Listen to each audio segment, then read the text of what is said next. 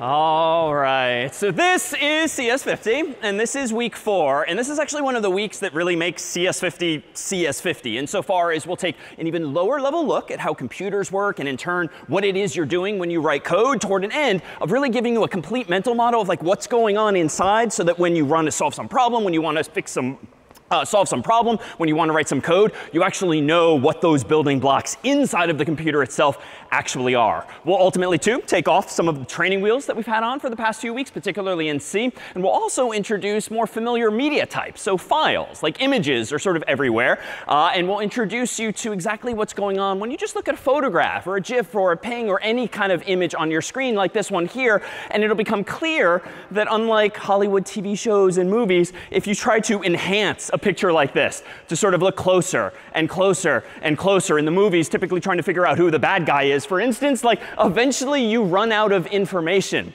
because there's only a finite number of bits or bytes that compose these files. So anytime you've seen computers that you just hit a button and boom, it's enhanced and all of a sudden the suspect is clear, that's a lot more Hollywood than it is computer science. But with that said, later in the term we will talk about artificial intelligence. And even though there might not be that information there, through statistical reasoning and modeling and predictions, can computers increasingly actually create information where perhaps there was none, just based on what's most likely to be there. So more on that before long, too. But you'll see that all of these dots on the screen, all of these pixels, so to speak, are just a grid, up, down, left, right, that compose these pictures. And we're fortunate to have three volunteers on stage who kindly, just before lecture began, created their own pixel artwork, so to speak, on this here easel. If you guys would like to spin this around, let's see what it is you've been working on. And if you'd like to introduce yourselves as our three artists today first. Yes. Um, I'm Talia. I'm a junior at the college studying economics with a possible computer science secondary. Hi, my name is Bolat. I'm from BU. Yes. Welcome. Uh, I'm Marcelo Caesar, self-taught computer science student. Been working as a software engineer since age 16. Nice. Well, welcome to you all. And if you would like to give us a description of what it is that you built out of pixels here. So we built a firework. OK, nice. And it's very blocky because what we've given them is post-it notes, each of which represents one of these pixels or dots. Now, typically it might be black or white, but the post-it notes we have here are pink or blue. So each of these represents a dot on the screen. And I gather you did one other that actually conveys maybe a bit more information if you want to reveal version 2 and thus we have yet more pixel art. So maybe a round of applause for what this, the, our volunteers were able to do using pixels alone. Thank you. We have, uh, as always, limited supply of delicious Super Mario Brothers Oreos for each of you. Thank you so much for coming up but thank you. But the point here really is that there's only so much you can do when you just have dots on the screen. Now, of course, the image that we saw a moment ago of these here stress balls is much higher quality. It's much higher fidelity, or more specifically, much higher resolution. And resolution just refers to how many dots or pixels are on the screen. And the smaller they are, and the more you cram in on the screen, the clearer and clearer the images are. But at the end of the day, even this here pixel art represents what's going on on your phone, your laptop, your desktop, your TV nowadays nowadays because all it is is this grid of pixels. Now, before we can actually write code that actually manipulates these kinds of images, we need to understand and we need to have some new syntax for navigating files. So not just text, but files stored somewhere on the computer, somewhere on the server. But let's consider how we might store even information like this, but we'll make it simpler. Here is a grid of uh, zeros and ones clearly, but I would argue that each of these might as well represent a pixel, an individual dot. And if that dot is a 0, it's representing the color black. If that dot is a 1, it's representing the color white.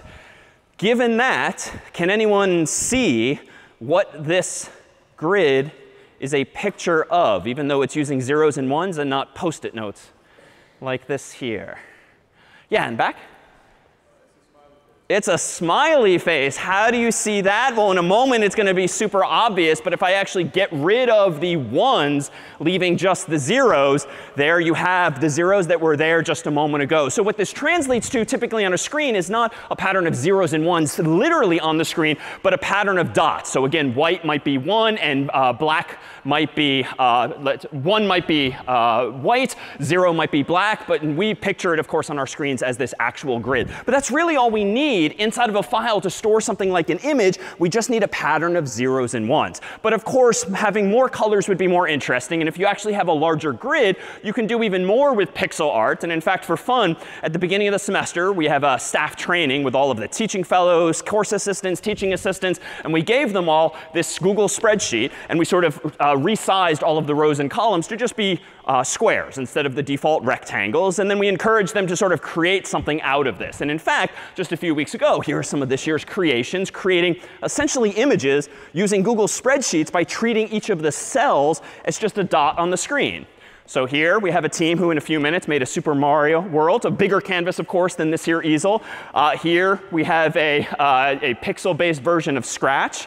Uh, here we had an homage to uh, the Harvard Yale football competition.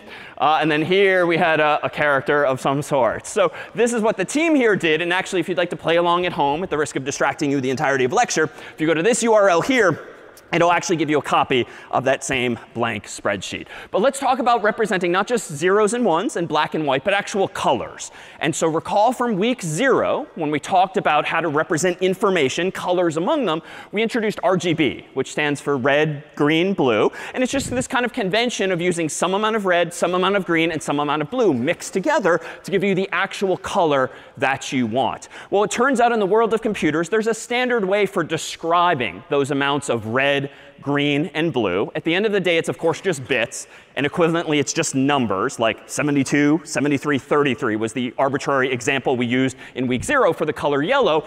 But there actually tends to be a different notation by convention for representing colors that we'll actually see today too as we explore the world of memory. So here's a screenshot of Photoshop. If you've never used it before, this is like the color picker that you can pull up just to pick any number of millions of colors by clicking and dragging or typing in numbers. But notice down here, we've picked at the moment the color black by moving the slider all the way down here to the bottom left-hand corner. And what this user interface is telling us is that there's zero red, zero green, zero blue. And a conventional way of writing this uh, on a screen would be literally a hash symbol and then three pairs of digits. 0, 0 for red, 0, 0 for green, 0, 0 for blue.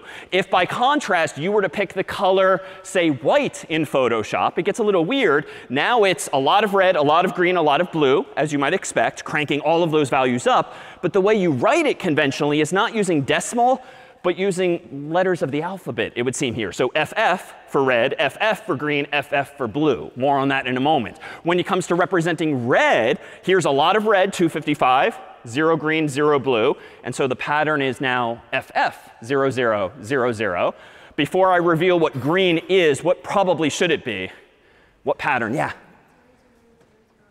Ah, uh, close. Not 0, 0, 0, 0 FF, but 0, 0, FF 0, 0, because it seems to be following this pattern indeed from left to right of red, green, blue. So 0 red, 255 green, 0 blue, and thus 0, 0, FF 0, 0. And then lastly, if we do solid blue, it's 0 red, 0 green, a lot of blue, and thus 0000FF. So somehow or other, FF is apparently representing, is apparently representing the number 255. And we'll see why in just a moment. But recall that in the world of computers, they just speak zeros and ones. And we've seen that already in sort of black and white form. We, of course, in the real world tend to use decimal instead of binary. So we have 10 digits at our disposal, 0 through 9. But it turns out that in the world of graphics and colors, turns out in the world of computer memory, it tends to be convenient not to use binary binary per se, not to use decimal per se, but to use something called hexadecimal, where as soon as you need more than 10 digits total, you start stealing from the English alphabet. So the next few numbers, or digits rather,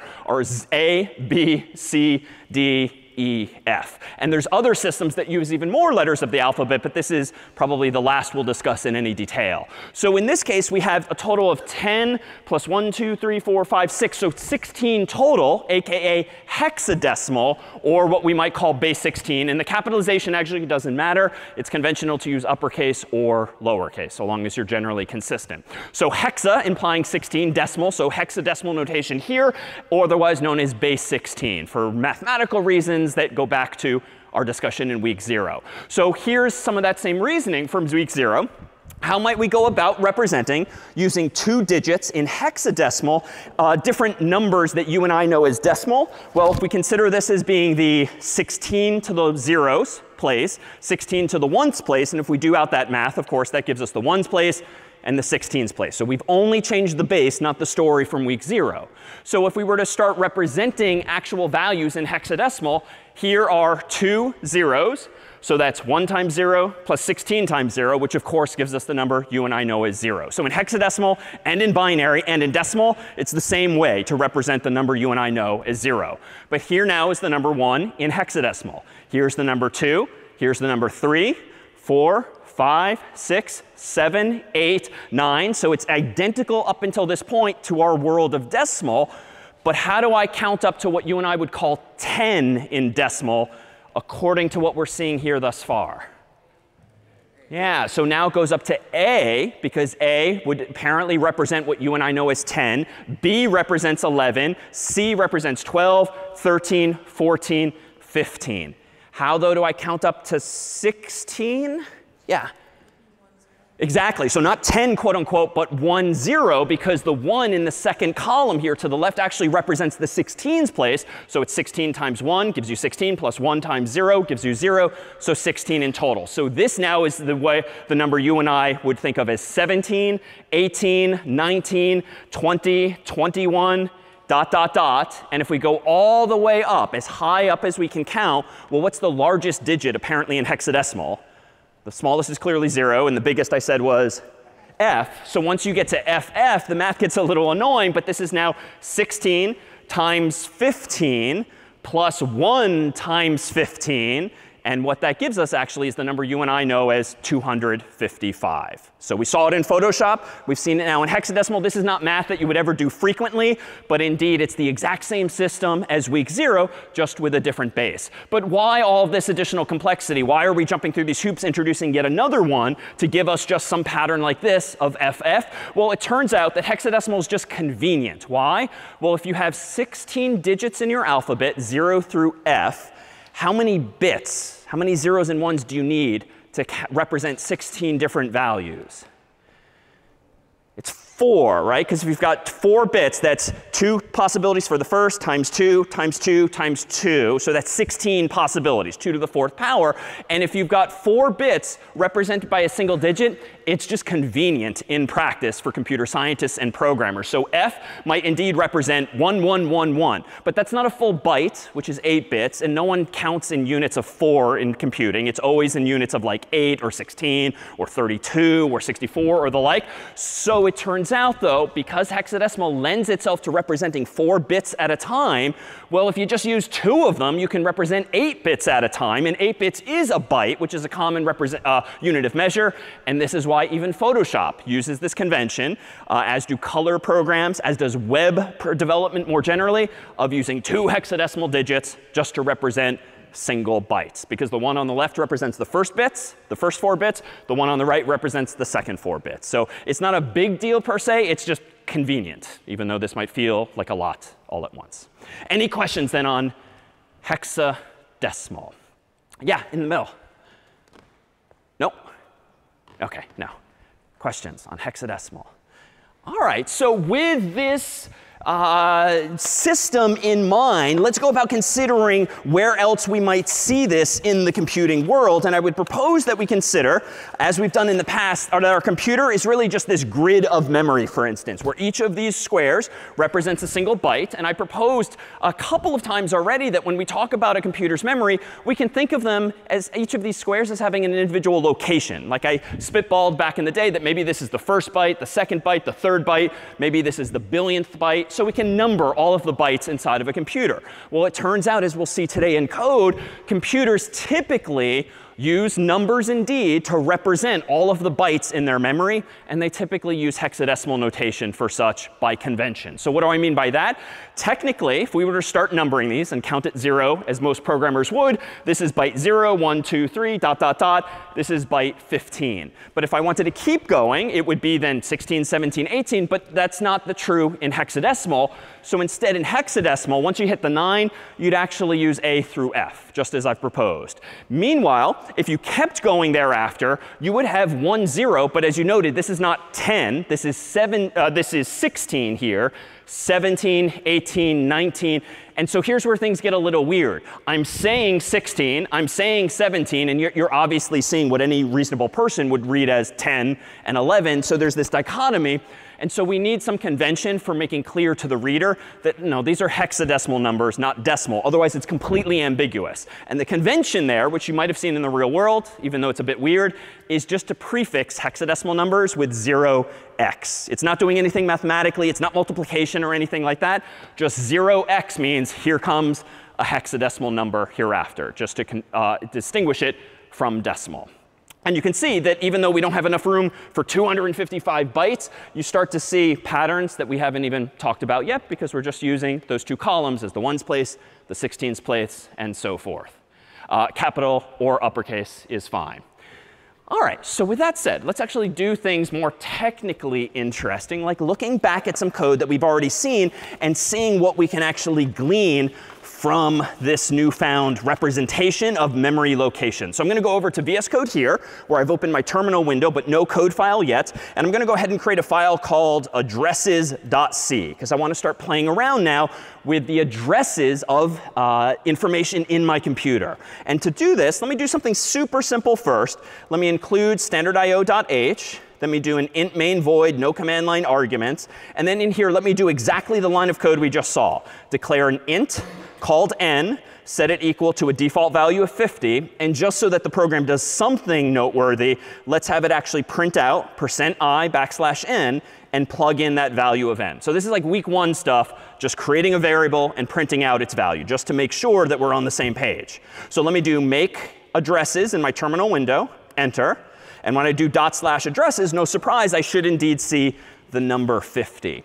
But let's consider what that actually does inside of the computer now by flipping over, for instance, to this same line of code and translating it into this same grid. So here's a grid of memory, and I don't necessarily know where in the computer's memory it's going to end up, so I'm picking spots arbitrarily. But I know that an int typically is 4 bytes on most systems. And so I've used one, two, three, four squares. And the first four that I assume are available are down here. And I'm calling this n, and I'm putting the value 50 in it. So literally, when you write that line of code, int n equals 50 semicolon, the computer is doing something like this underneath the hood. Might be over here, might be over there, but I've drawn it simply down there.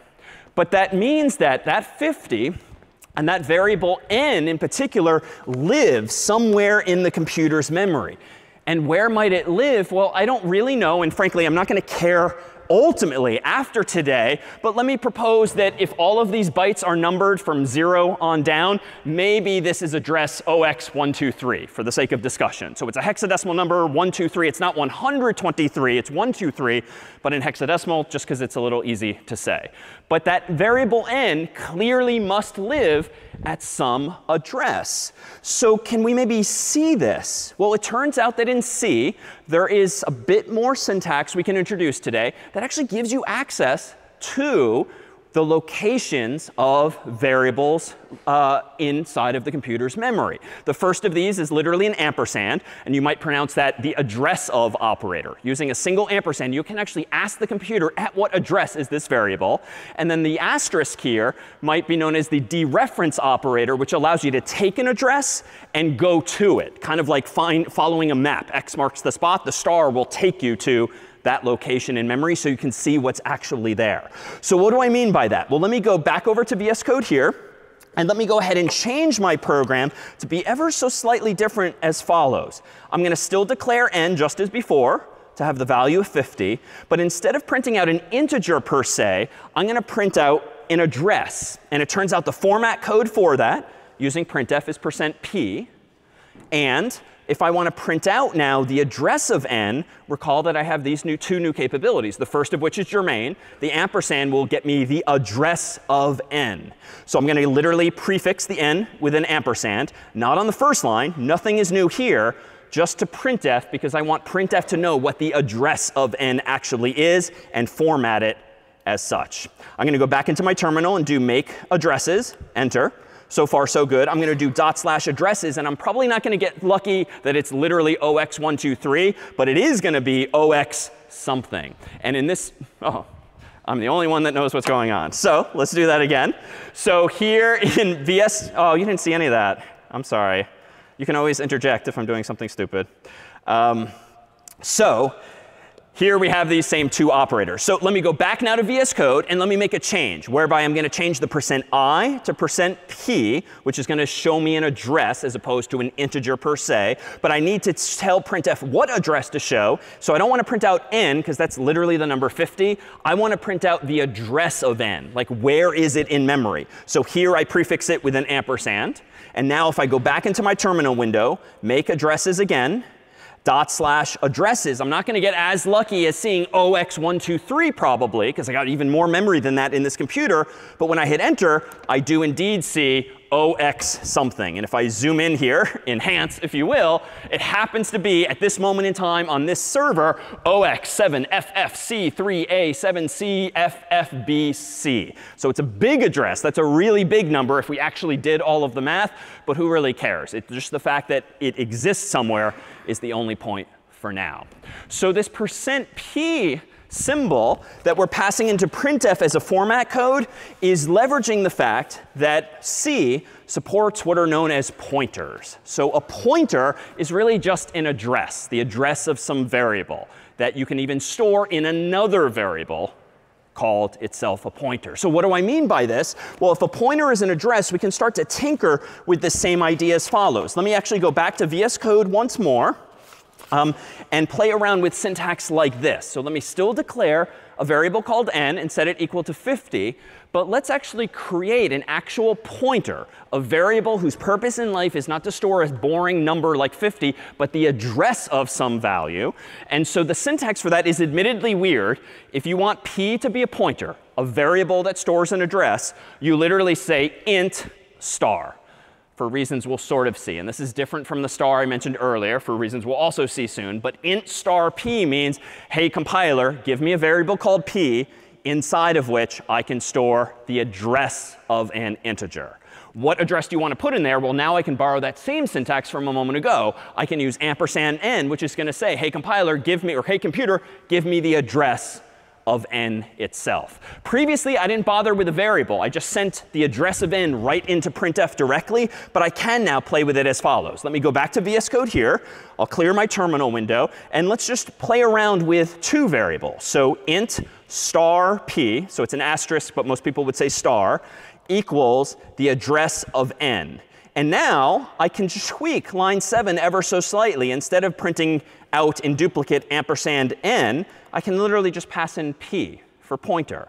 So I've not done anything really that interesting other than add a variable, but just to show you the syntax via which you can create a variable whose purpose in life is to store one of these addresses. So let me go ahead and now and do uh, make addresses once more, dot slash addresses, and we should see, indeed, pretty much the same idea. The address at which n happens to be now that I've recompiled and actually run my code.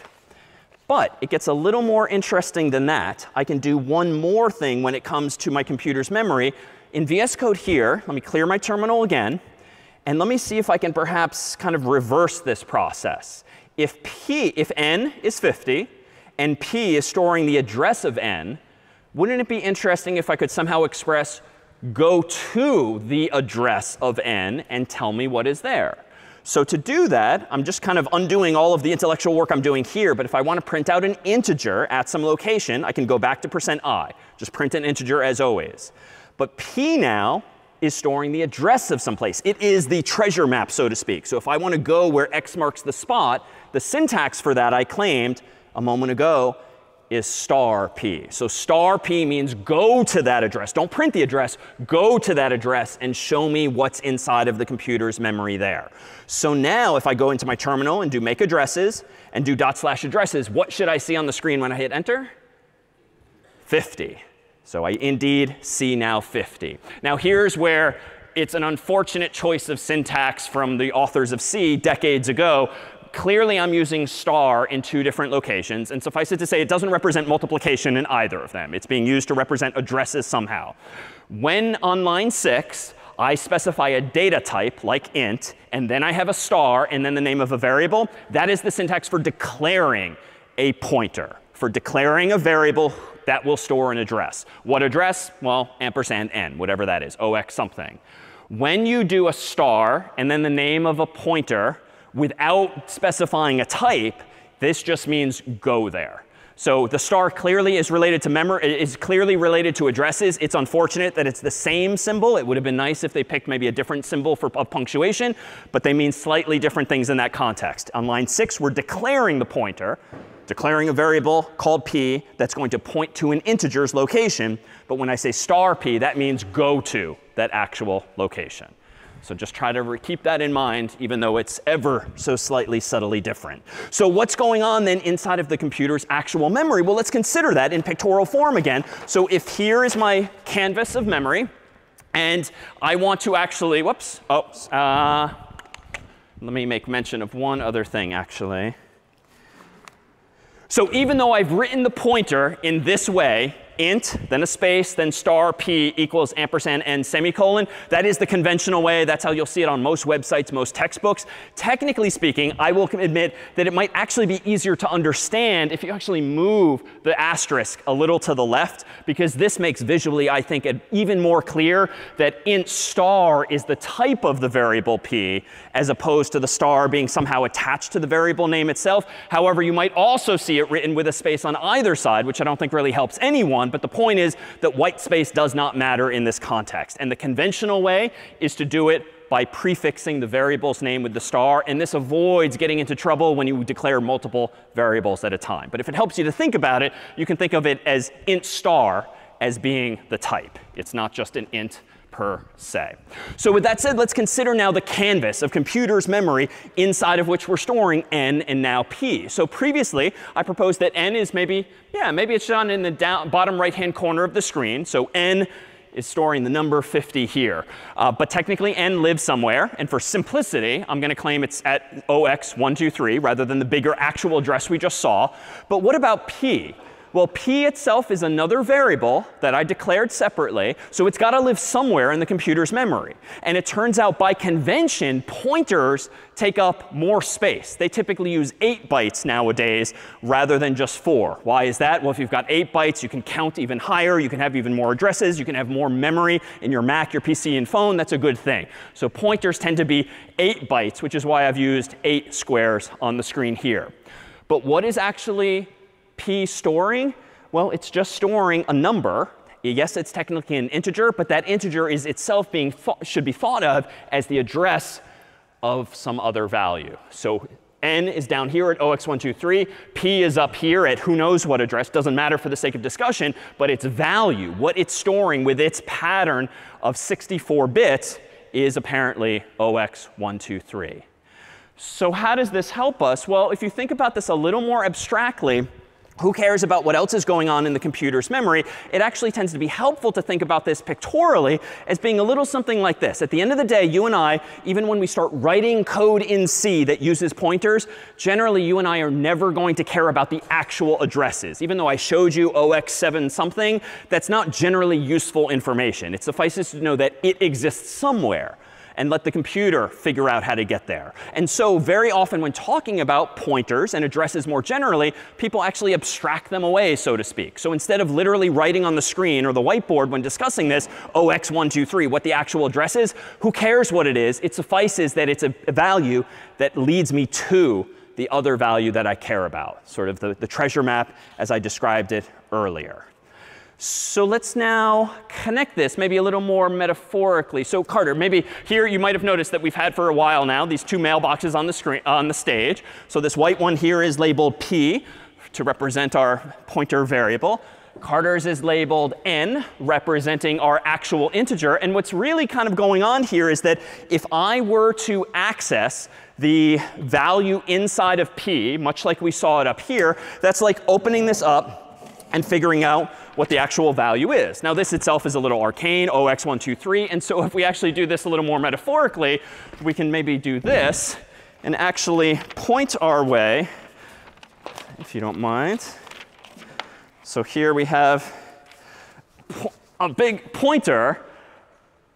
Oh, forgive me. I guess we'll use this one here. OK.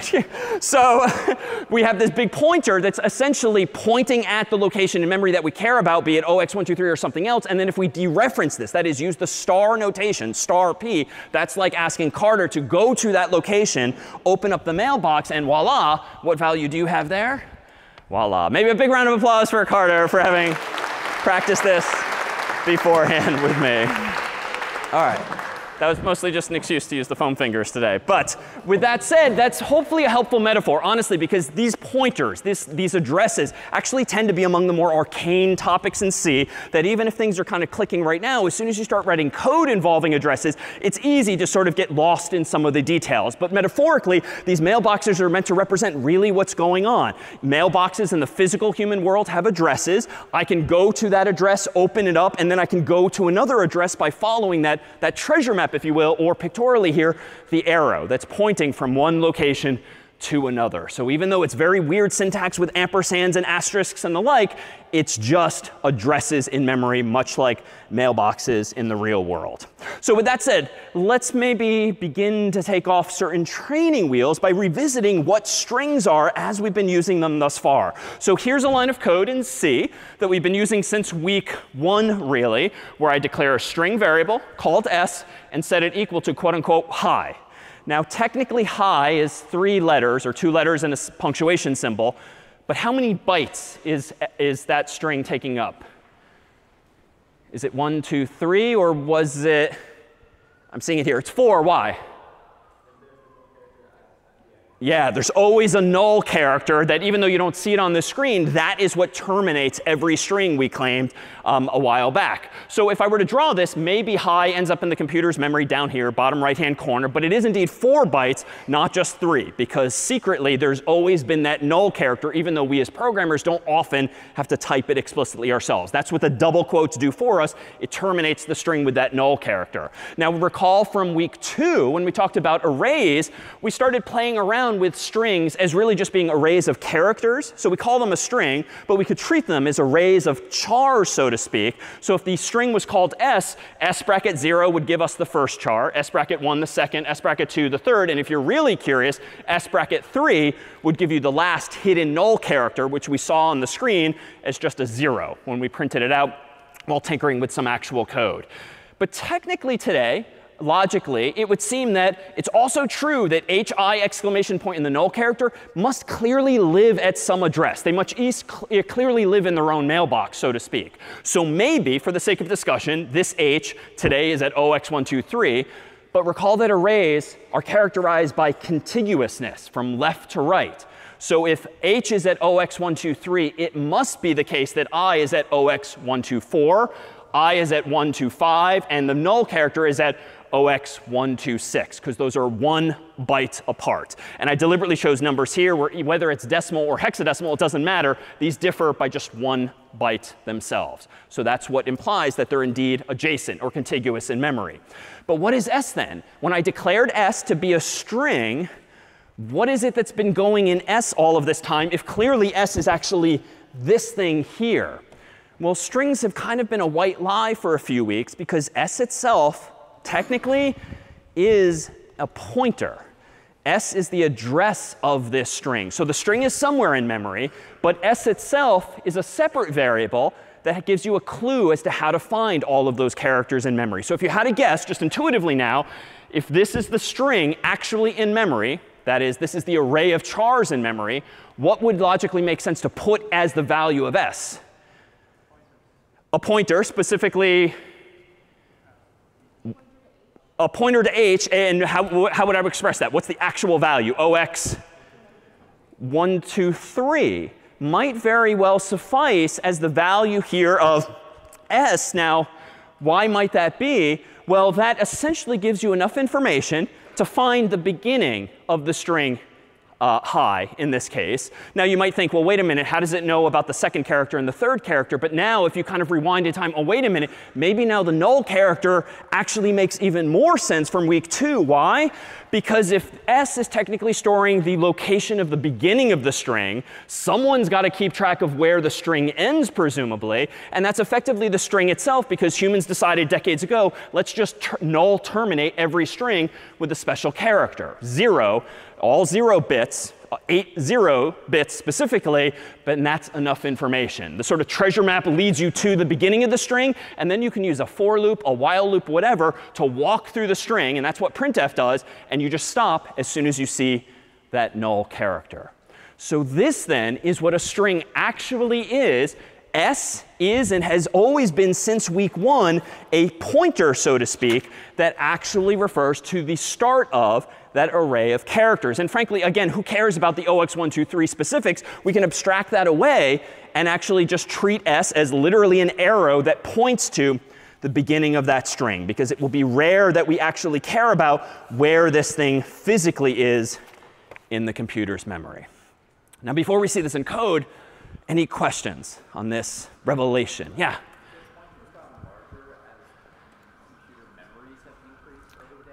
Yes. Have pointers gotten larger as computers' memory has increased over the decades? Short answer, yes. Like back in my day, we were limited to like two gigabytes of memory total. Well, why two? Well, if you had 32-bit memory, or if you use 32 bits to represent addresses, aka 4 bytes, as was conventional, you can count, recall, as high as 4 billion values. But generally, numbers are both negative and positive, so that halves it. So the reason decades ago computers, PCs, Macs could have no more than 2 gigabytes of memory was because literally the integers being used, the pointers being used, were only 4 bits, that is 32 bits, uh, sorry, 4 bytes, that is 32 bits long. And so you literally could, you could buy more memory. You could buy a third gigabyte, a fourth gigabyte, but you literally had no way mathematically to express all of those bigger locations. So it was effectively useless in that case. In more modern times, computers tend now to use 64 bits, which allows you to count crazy high, and that's more than enough to address bigger chunks of memory.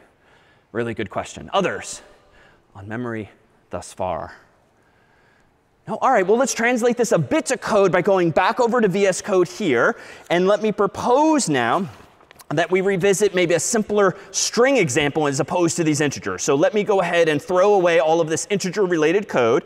Let me go ahead and for the moment include cs50.h so that we have access to string and other things as in week one. And let me do a string s equals quote unquote hi in all caps. And let me do a simple uh, safety check percent s backslash n s just to make sure everything works as it did in week one. So make addresses dot slash addresses. And I should indeed see hi on the screen.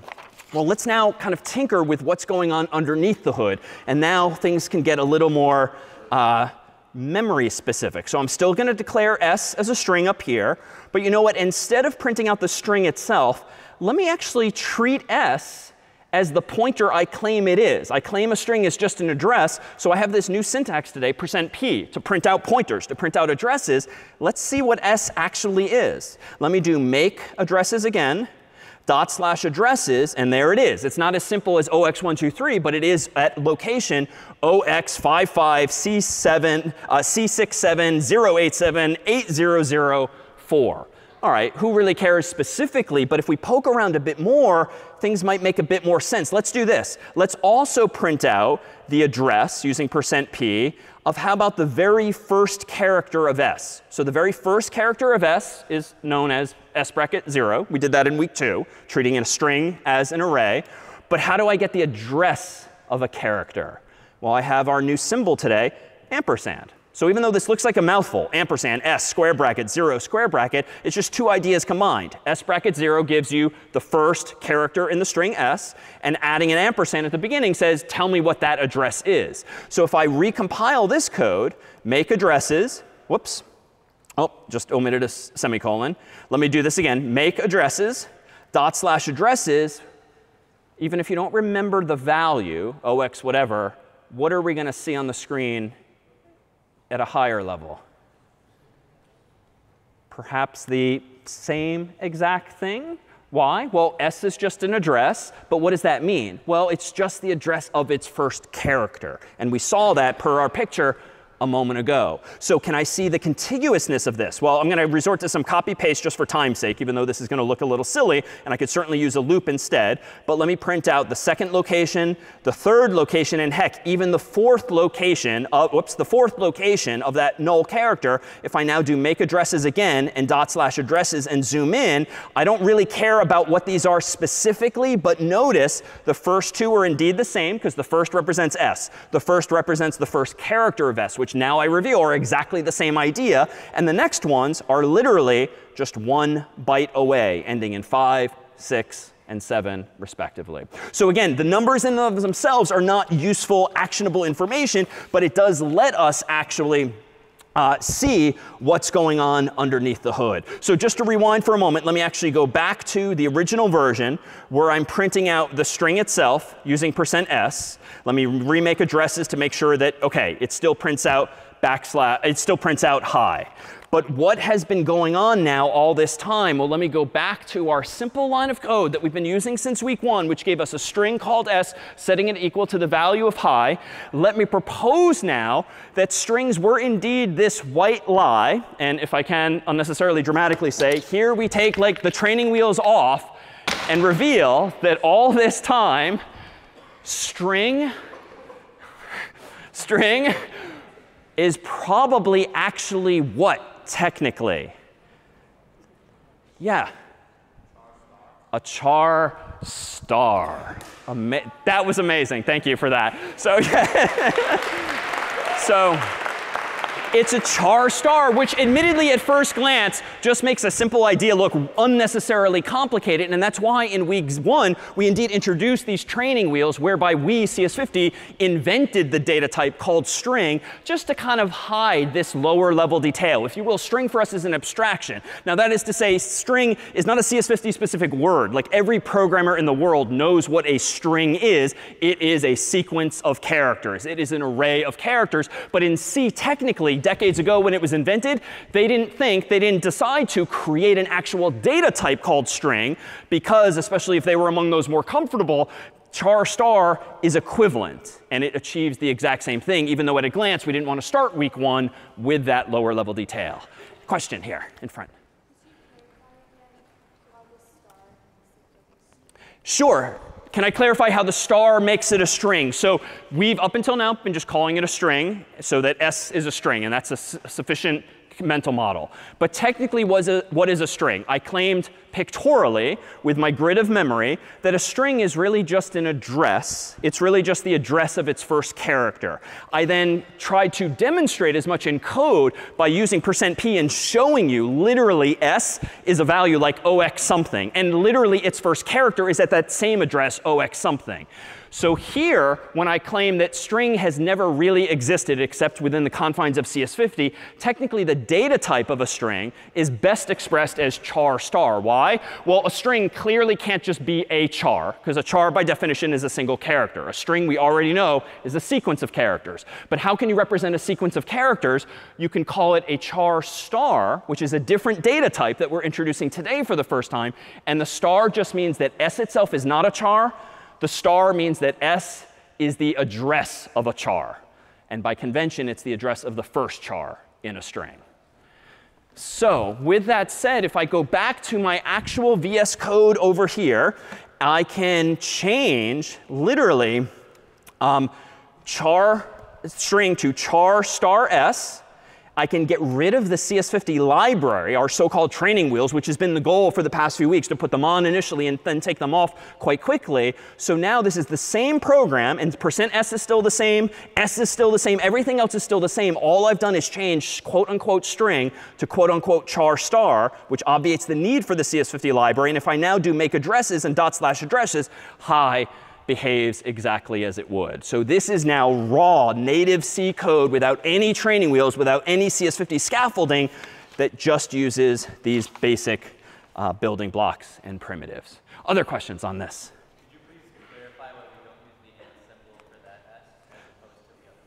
Correct. Why don't we use the, uh, the ampersand symbol for this, and though we did earlier? So in this case, there's no reason for an ampersand because the ampersand tells, uh, tells you what the address of a variable is. I'll concede that it probably would be a little more consistent for us to do this, which is maybe where your mind is going. Now, never mind the fact that that looks even worse, I think, syntactically. It's a reasonable, in, uh, it's a reasonable instinct, but it turns out that too is what the double quotes are doing for you. The C compiler, called Clang, is smart enough to realize that when it sees double quotes around a sequence of characters, it wants uh, to put the address of that first char in the variable for you. But when we had a variable like n, which we created, you have to distinguish n from its address. So that's why we prefixed n with an ampersand. But the double quotes take care of it for you. Other questions on these here addresses? No? All right, well, beyond that, let me propose that we tinker with one other idea to see how we actually invented this thing called a string. Well, I claim that string is just char star. You've actually seen this technique before. You know, it was just a week ago that we tinkered with uh, structures, custom data types to represent a person. And recall that we had a structure uh, of a name and a number representing a person. But more importantly, we had this keyword typedef, which defines your own type to be whatever you want. Now, we used it a little more powerfully last time to actually represent a whole structure of a person having a name and having a number. But at the end of the day, we really just invented our own data type that we called, uh, obviously, person. But, and that represented indeed this structure. But typedef was really the enabling element there. And so it turns out with typedef, you can create any number of data types of your own. For instance, if you just really can't get the hang of calling an integer an int, you can create your own data type called integer that itself is a synonym for int. Because the way typedef works, even though this one's even simpler than the struct, is you can kind of read it from uh, right to left. This means give me a data type called integer that is actually an int.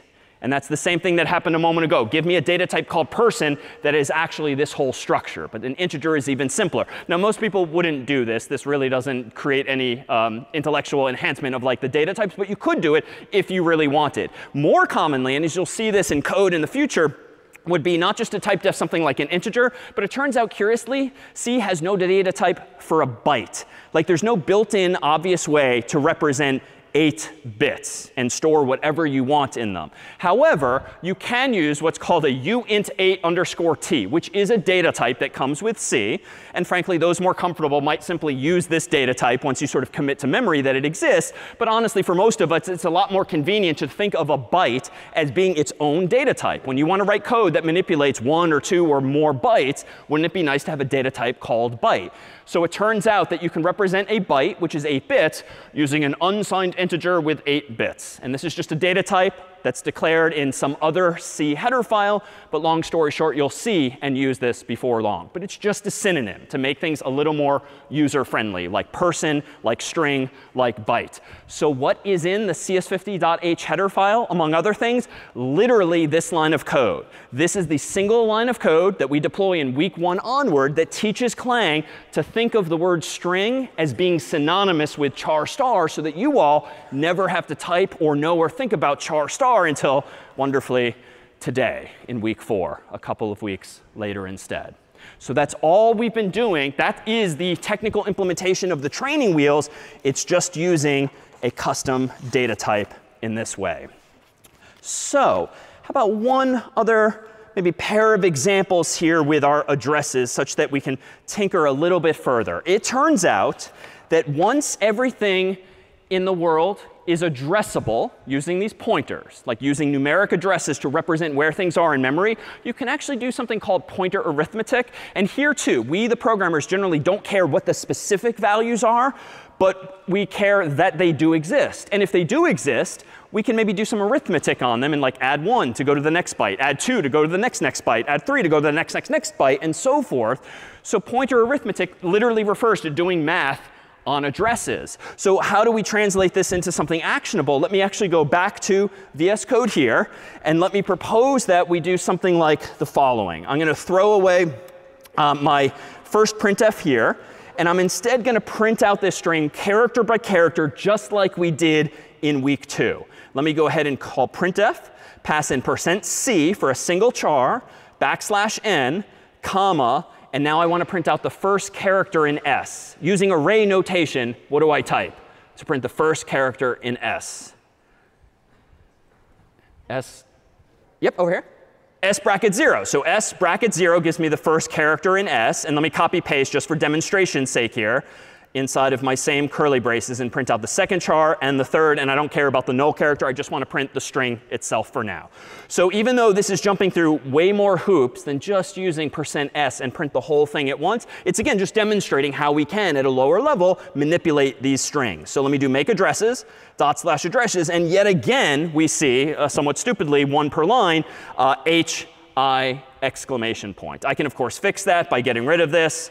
I can get rid of this and I can leave the last backslash n. So let's just make it look a little prettier. Make addresses, dot slash addresses, enter, and I can print it out all on one line. But now, using pointer notation, it turns out we can do one other thing, which admittedly for now is going to feel like unnecessary complexity, but it's actually a really helpful tool to add to our toolkit, so to speak, whereby I could instead do this.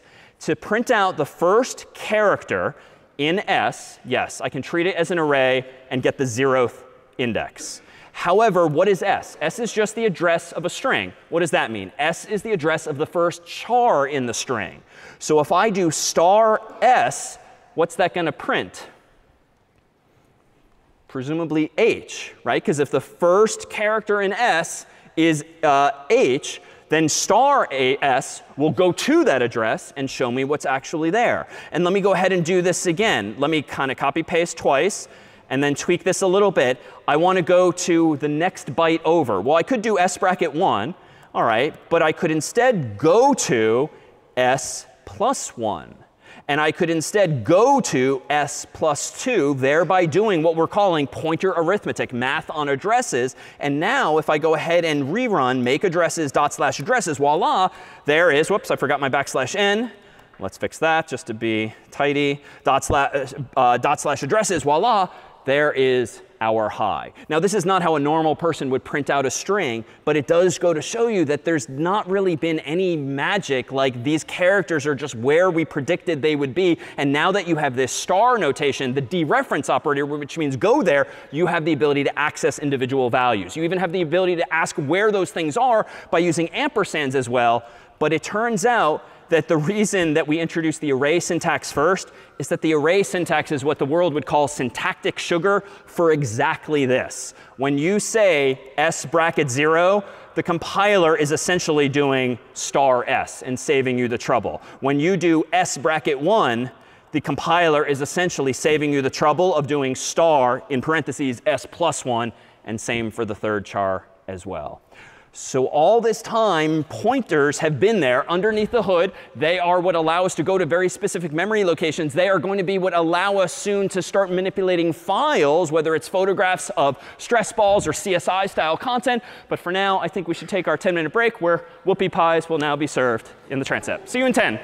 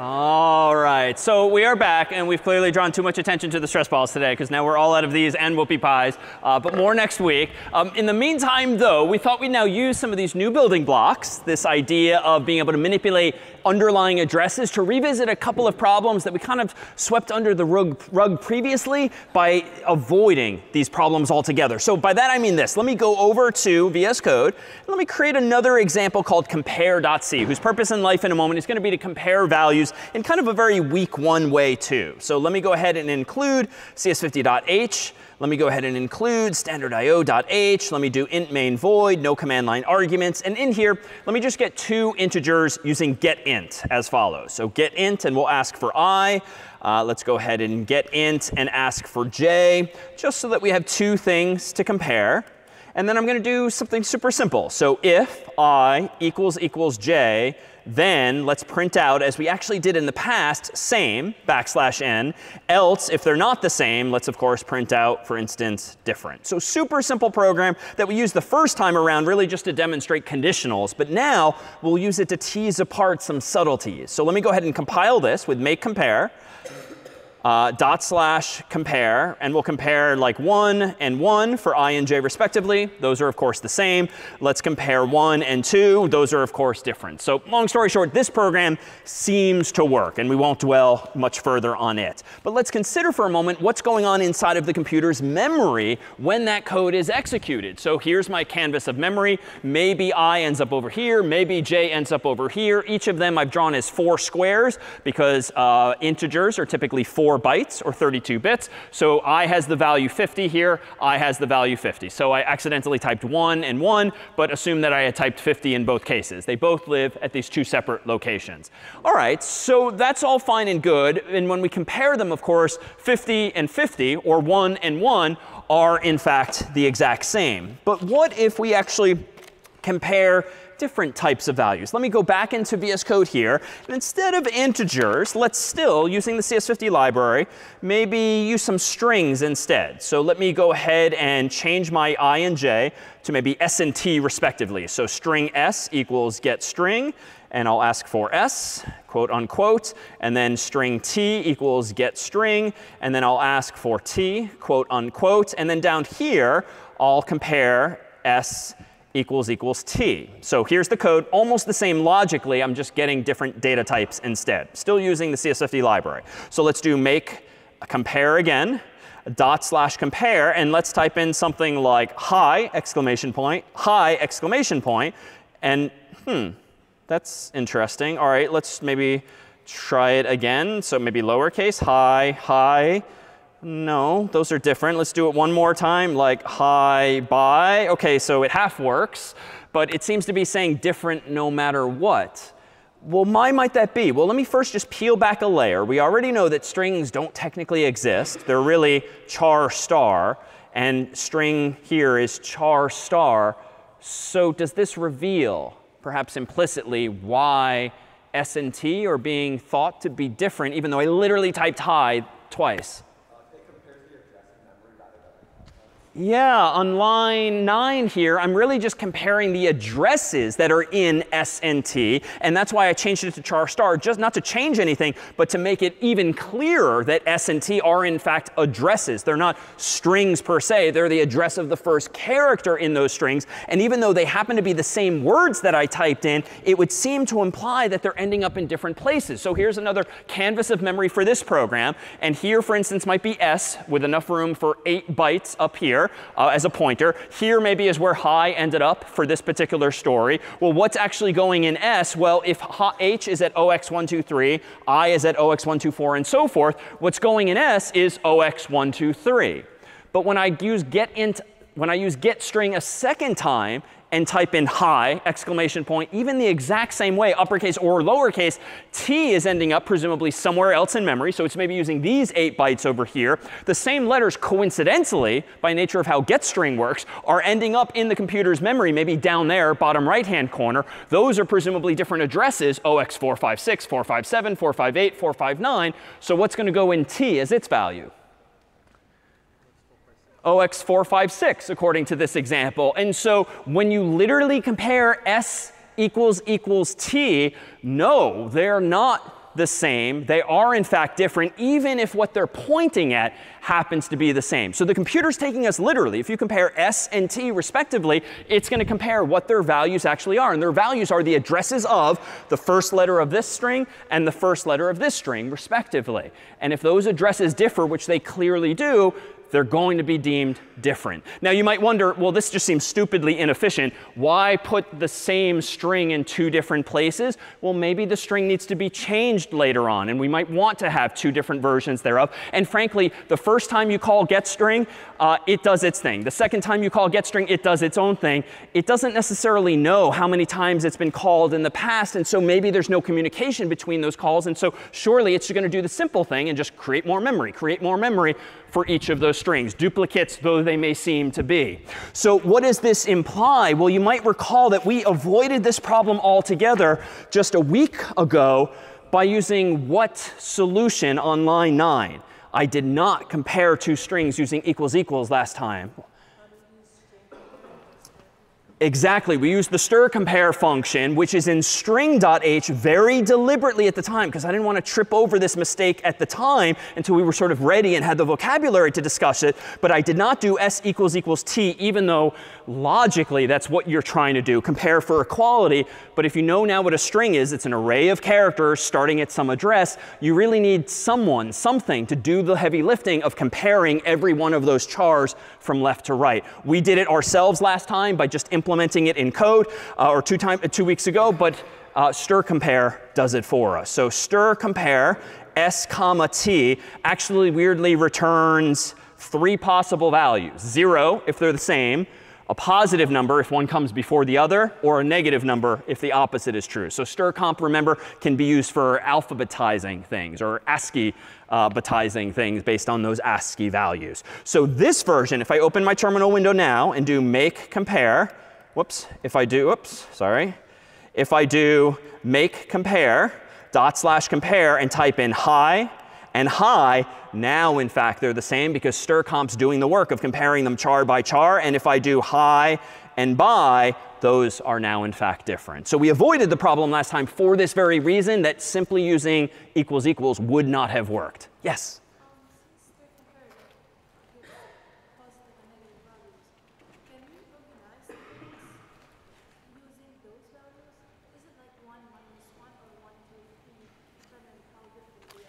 Oh, good question. So when using stir compare, the documentation says that it will return 0 or a positive number or a negative number. It doesn't tell you a specific number. So the magnitude of the integer that comes back actually has no meaning. It might very well be 1, 0, and negative 1, but there's no guarantee. And so you can check for equality, equals equals, or you should check for greater than or less than, but not specific to a certain number. So it just gives you relative ordering. It doesn't give you any more detail than that.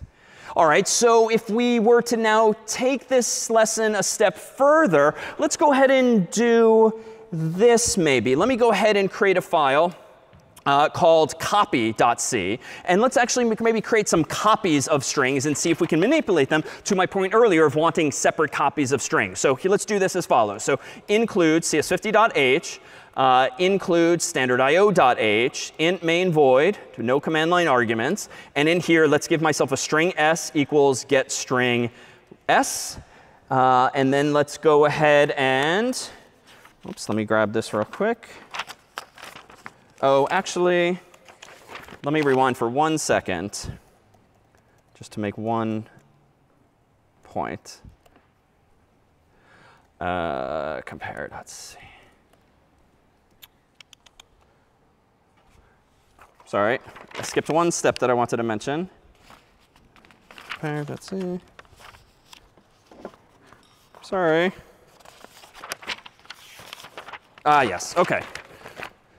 So we can actually make this clear in code as follows. Instead of just comparing these things, let me close my terminal window. Let me still get S and T, but let me actually print out what these things are. So if I do it the old school way and do printf, quote unquote, S backslash N, and print out S, and then I again use printf, uh, percent %s backslash N and print out T, we should see what the actual strings are, of course. So make compare dot slash compare, and now if I type in hi and hi twice, I indeed see exactly the same thing. So no magic there. But to make clear that these things do indeed live at different addresses, even if it's not quite as simplistic as 0x123 and 0x456, I could instead change the percent %s to what again?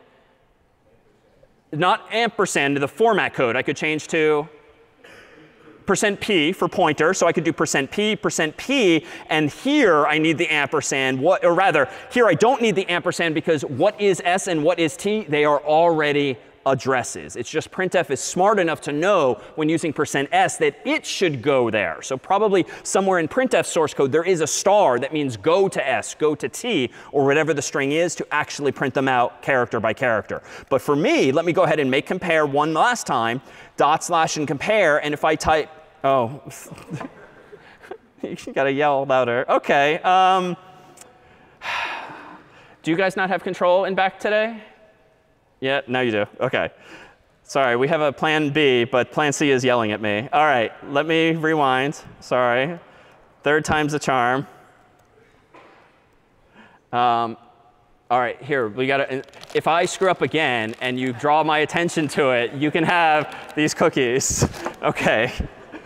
All right, so so just to hammer home this point whereby these strings s and t must clearly live at different addresses, let's actually try to see this in code. So let me go back to VS Code here. Let me go ahead and just remove all of the conditional code and instead do something old school like print out percent %s backslash n and print out s. Then let's go ahead and print out percent %s again, but print out t, just to see the two strings as being duplicative.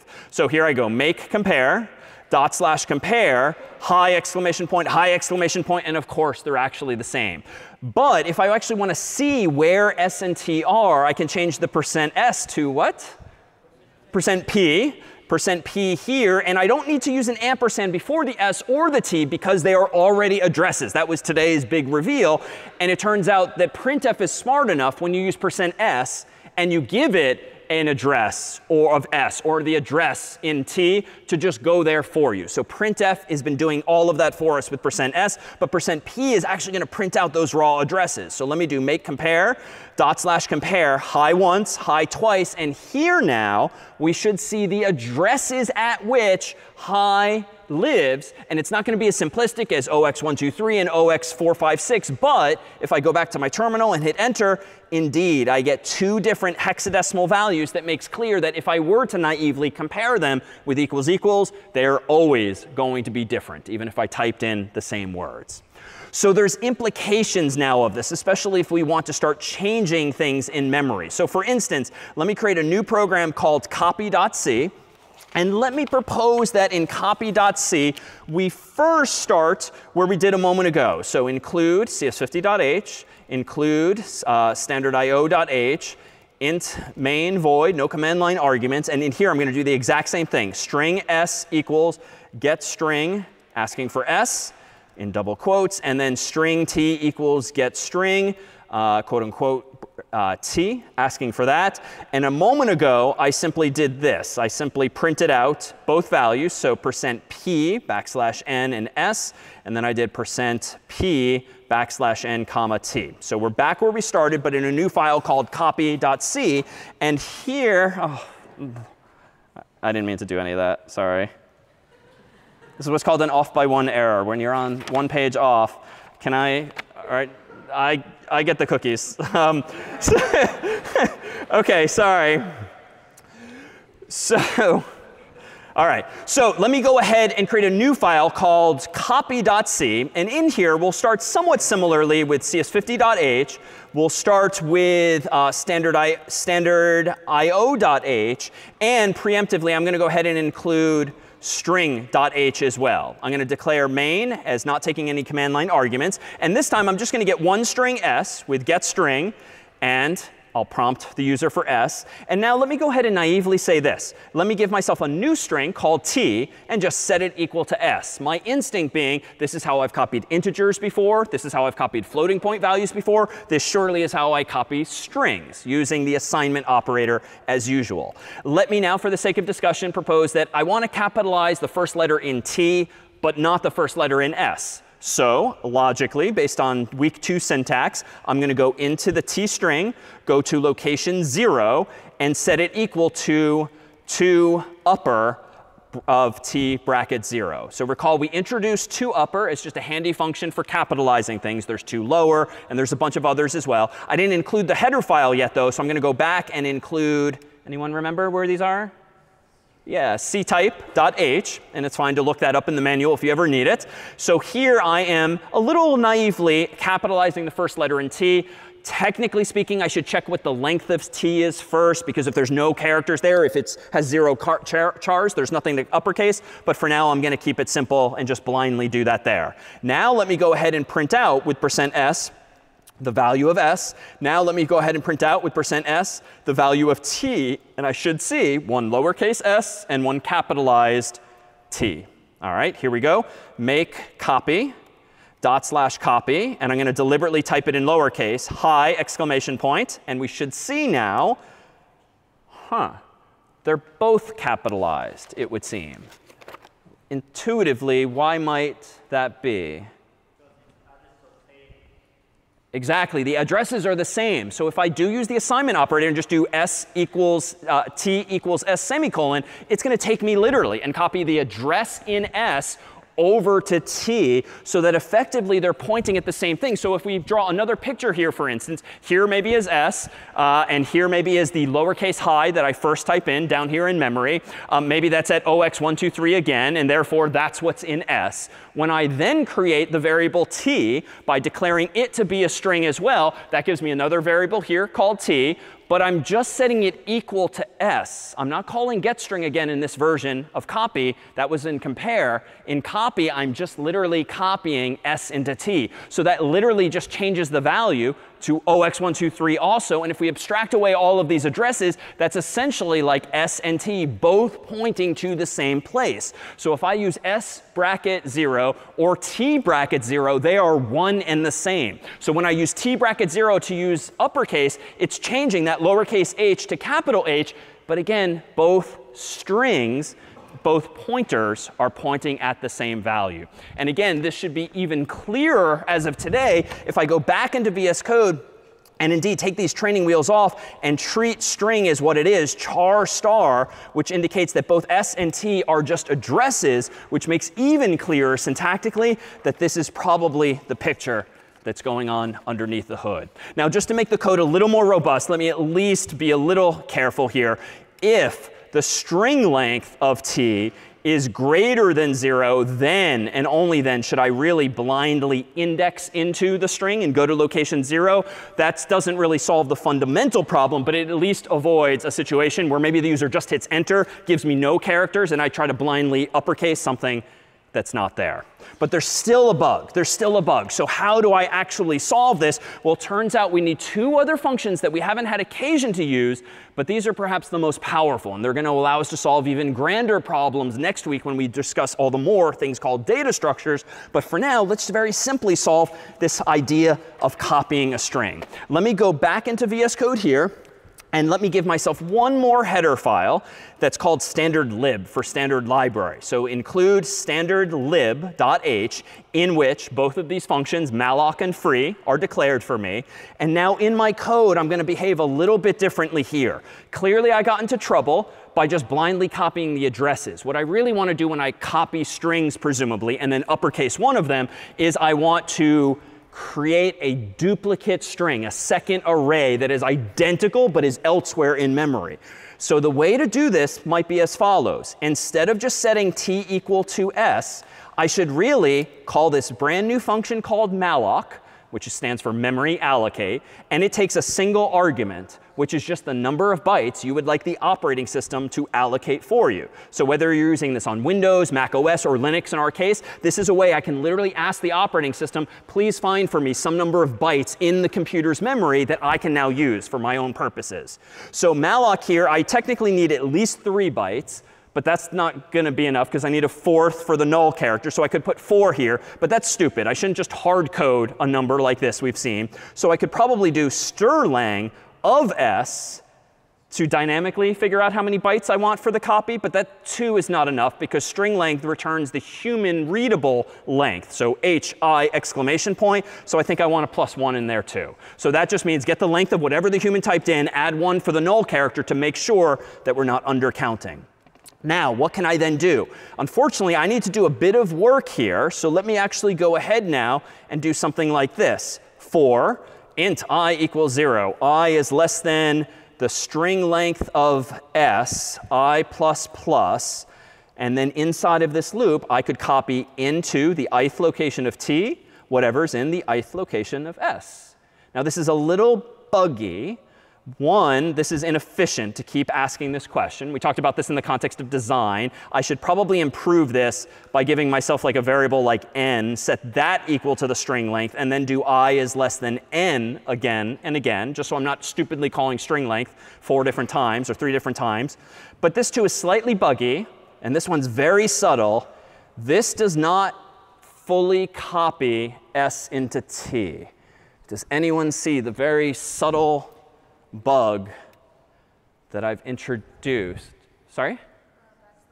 Yeah, I'm forgetting the backslash 0. So even though I'm copying hi exclamation point or whatever the human typed in, I need to go one step further deliberately to make sure I also copy the backslash 0 or at least manually put it in myself. So I could solve this by either doing this up to n through n, i is less than or equal to n, or I could plus 1 here. That too would be fine. Or if I really want, I could do this like t bracket, the uh, t bracket 3 equals quote unquote backslash 0. But again, I shouldn't get in the habit of hard coding things. I could do string length of s, and that would give me the last location in s, which would also work. But that too is stupid. I might as well, or just unnecessarily complex. Let's just do this. Change one symbol, and boom. Now we're copying all three and the fourth character as well. All right, so with this said, let's go ahead now and make sure that t is indeed of length at least greater than 0. Then let's go ahead and capitalize t as before and print out the results. So let me go ahead and open my terminal window, make copy, dot slash copy, and I'm going to deliberately type hi in lowercase, and now we should see disparate s and t. s is now still lowercase, and t is now capitalized. But why is that exactly? Well, let me actually go into say my computer's memory again and propose that if what I had before was this situation where s is pointing at this chunk of memory and t was accidentally pointing in that same chunk of memory, what we really want to do is have t point at a new chunk of memory. And malloc is what gives us this chunk of memory. And then using that for loop, can I copy the h, the i, the exclamation point, and even the backslash 0. So now this is a little subtle, but malloc is what gives me access to this new chunk of memory. Malloc takes one argument, the number of bytes that you want it to find for you. Take a guess, what, what value is malloc returning? Conceptually, it's returning a chunk of memory, but that's like kind of hand wavy. What might malloc actually be returning? Perfect. Malloc is returning the address of that chunk of memory. Not the last address, the first address. And here's a difference with strings. This chunk of memory is not magically terminated with null for you. Like I had to do that with my for loop. Malloc, and in turn your operating system, does keep track of how big these chunks of memory are. So even though it's only returning the address of the first byte of that memory, the operating system is going to know that it used up four bytes here, four bytes here, and it will keep track of that so that it doesn't give you the, an overlapping address in the future, because that would be bad. Your data would get corrupted. But you similarly have to remember or figure out how many bytes are available thereafter. It's up to you to manage it, as by putting a null character there yourself. So if I go back to my code now, let me actually harden this code just a little bit more as follows, whereby I can do this a little better. If I go back to VS Code here, it turns out if something goes wrong and I'm out of memory, maybe I've got an old computer, or maybe I'm typing something way bigger than three characters in, like 3 billion characters, and the computer might genuinely run out of memory, I actually should be in the habit of doing this. If t equals equals a special symbol called null with two L's, and I promised this would eventually exist, I should just return 1 now, or return 2, return negative 1, return any value other than 0, and just abort the program early. That means if malloc returns null, there's not enough memory available. And it turns out all this time, I'm going to do one other crazy thing, even though we've not expected you to do this thus far.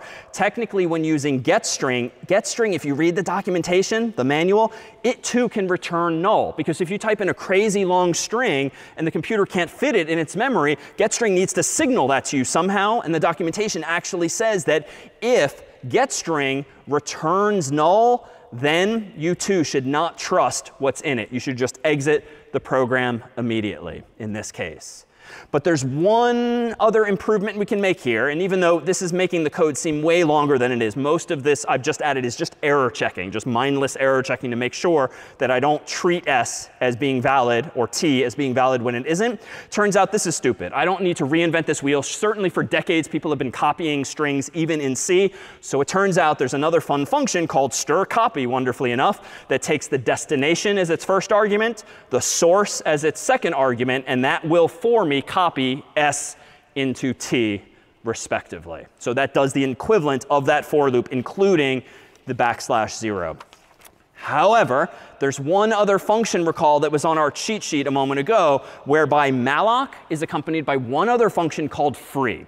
So free is the opposite of malloc. When you're done with your computer's memory, you're supposed to give it back to Windows, to Mac OS, to Linux, so it can reuse it for something else. And frankly, if you've ever been using your computer for like hours on end, days on end, and maybe it's getting slower and slower, maybe it's Photoshop, maybe it's a really big document, generally really big files, consume lots and lots of memory. If the humans who wrote that software, be it Photoshop or something else, wrote buggy code and kept using malloc, malloc, malloc, malloc, asking for more and more memory, but they never call the opposite function free, your computer might actually run out of memory. And typically the symptom is that it gets so darn slow, it becomes annoying to use. And frankly, the mouse starts moving very slowly. Maybe the thing freezes altogether. The computer crashes. Bad things happen when you run out of memory. So in my case here, if I go back to VS Code, it's actually on me in this language called C to actually manage the memory myself so that when I have called malloc, Thereafter, I had better free that same memory. Now, I don't want to free it right away. I want to free it when I'm done with it. So frankly, the very last thing I'm going to do in my program here is called free on t, because t is what I malloced up here. So at the very bottom of my program, I should free t. And then just to be super nitpicky, let me return 0 just to signify success at this point. Now, there's a slight asymmetry, which is a little inconsistent here even though getString, I'm going to imply, is still allocating memory for me, it actually does use malloc. GetString and uh, CS50's other functions are special. They manage memory for you. So you do not and should not free memory that getString returns to you. We handle all of that for you. But that's a training wheel that's going to be taken off as of this week anyway, so it's kind of moot. So not to worry. But I'm only freeing memory that I malloced. All right.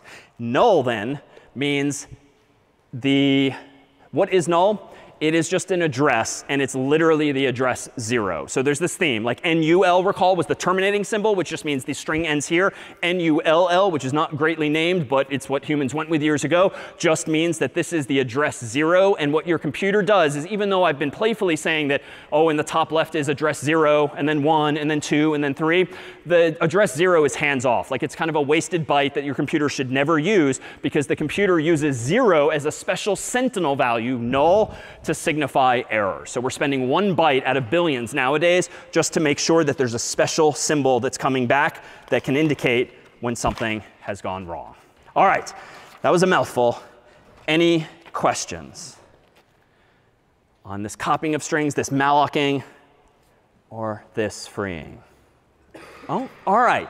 So let me give you a tool with which to make some of this stuff easier so that when you make mistakes or have bugs, as you invariably will, you can chase them down without having to raise your hand, without having to ask the duck. You actually have more technical tools with which to diagnose the problem yourself. And there's this new tool that we'll introduce today called Valgrind. And Valgrind's purpose in life is to check your usage of memory for you. Admittedly, it's an older program. It's pretty arcane in terms of its interface. And there's just going to be a mess of output on the screen. But there's going to be certain patterns of mistakes that you'll notice. And I'll demonstrate a couple of them now so you can see where and how you might go wrong. So I'm going to go over to VS Code here. I'm going to create a program called memory.c that is deliberately buggy, but it's not going to be obviously buggy at first. So by that I mean this. Let me do include standard.io.h. Let me also include proactively standard lib.h so I can use malloc. Let me declare main with no command line arguments. And let me do something very simple. Instead of just declaring an int called x, let me be a little crazy and manually allocate this memory myself. So int x just gives me an integer, and it has since week one. But now that I have malloc, I can kind of take control over this process. So let me declare not an int, but an int star called x. So give me the address of an integer. And let me store there the return value of malloc by asking malloc for, let's say, uh, 4 bytes. So I know that ints are 4 bytes. If I want 4 bytes, I just tell malloc, give me 4 bytes. Now, frankly, this is a little stupid. I shouldn't just assume that the int is always going to be 4 bytes on everyone's computer. So there's this function you can start using called size of, or this operator technically, where you can say size of int. And even if you're on an older computer, for instance, really old at this point, size of int will return the correct value no matter what. You don't have to assume that it's in fact 4. But you know what? I'd actually like more than this number of ints. Let me actually treat x as an array of integers integers. So I could, actually, if I wanted an array of integers, I could do this. Give me three integers. But no, no, let me not do week two syntax. Let me do this myself as follows. Let me treat this as three times the size of an int. So that's technically going to give me 12 bytes. But this makes x effectively an array.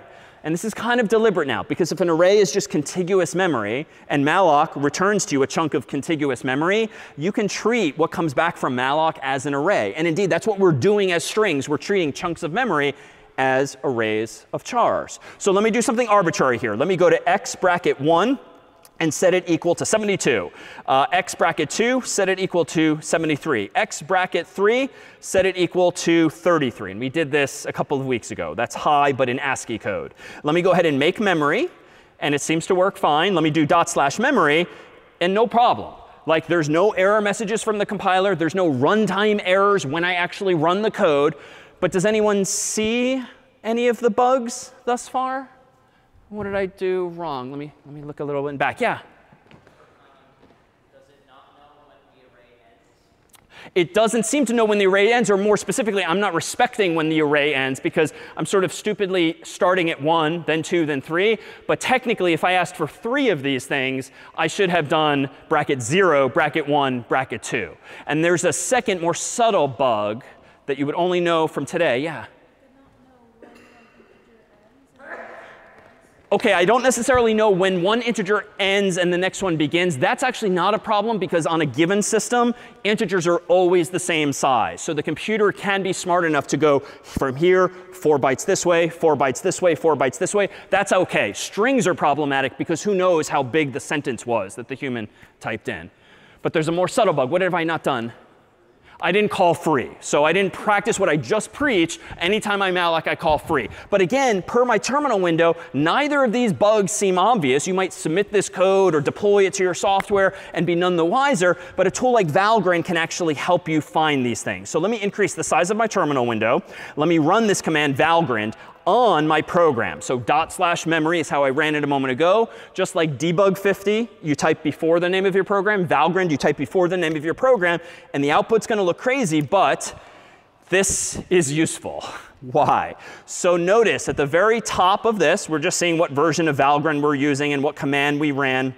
But this starts to get juicy, and I'll highlight this here. Invalid write of size 4 invalid write. So writing means changing information, like setting a value or assigning it a value. And this is useful here. The problem is in memory.c at line 9. So colon 9 means line 9. All right, so let me go back to my code, look at line 9, and oh, interesting. So invalid write of size 4. So it's cryptic, but size 4 I know is the size of an integer. So I'm probably doing something stupid on line 9 involving changing an integer. And sure enough, even though it's not super obvious, x bracket 3, oh, obviously, this doesn't exist. So I have to change the problem. 1 and 2 were OK, even though it's logically the wrong thing. Now I think this will get rid of this error. So let me actually clear my terminal window and make it bigger again.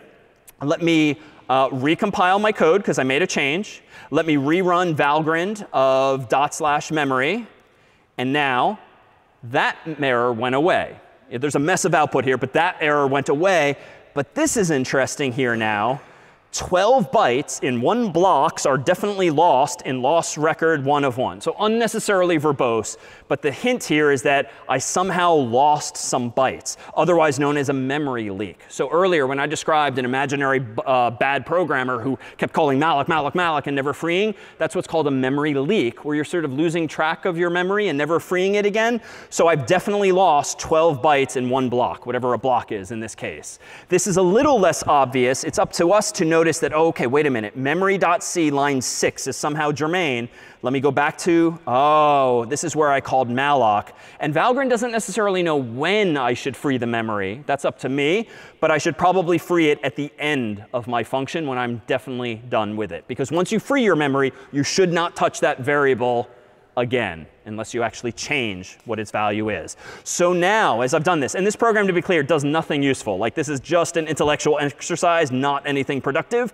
Let me do make memory one last time, dot slash, uh, let's do valgrind, dot slash memory, and let me grow my terminal window again and hit enter. And even though it's still kind of output, it's still kind of cryptic, at least it says no leaks are possible. So now this is my own sort of teaching assistant telling me before I submit the code or before I deploy it to production in real software that at least there seem to be no memory related errors. So Valgrind is not for logical bugs. It's not for syntax errors. It's for memory related bugs as of today. Questions on any of that? No? OK, so what else can go wrong? We mentioned these in the past. It turns out that garbage values are a thing. And recall that if you declare a variable, but don't give it a value with an equal sign, and you just blindly start using it, like printing it out or doing math on it, you might be manipulating a garbage value, which is some number that's essentially remnants of your computer having been on for a while. Because if you're using this canvas and reusing it again and again, surely there's going to be patterns of zeros and ones there that you didn't put there yourself, at least in the moment. They might be remnants of the past. So garbage values are values of variables that you did not proactively set yourself as intended. So we can actually see this. Let me actually go ahead and whip up a really quick program here after shrinking my terminal window. Let me uh, close memory.c. Let me go ahead and open garbage.c. And in here, I'll do uh, include, how about standard io.h. Let's include standard lib.h. Actually, we don't even need standard lib.h. Let's go ahead and include standard io.h and then int main void.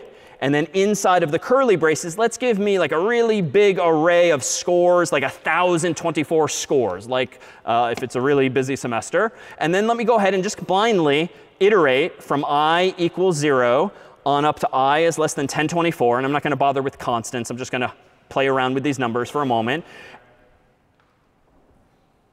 Uh, and, oh, thank you. Oh, cookies for you. OK, these are, OK, here we go. OK, come on up. Thank you very much. Oh, fair is fair. OK, thank you. OK. OK, now everyone's really paying attention. All right.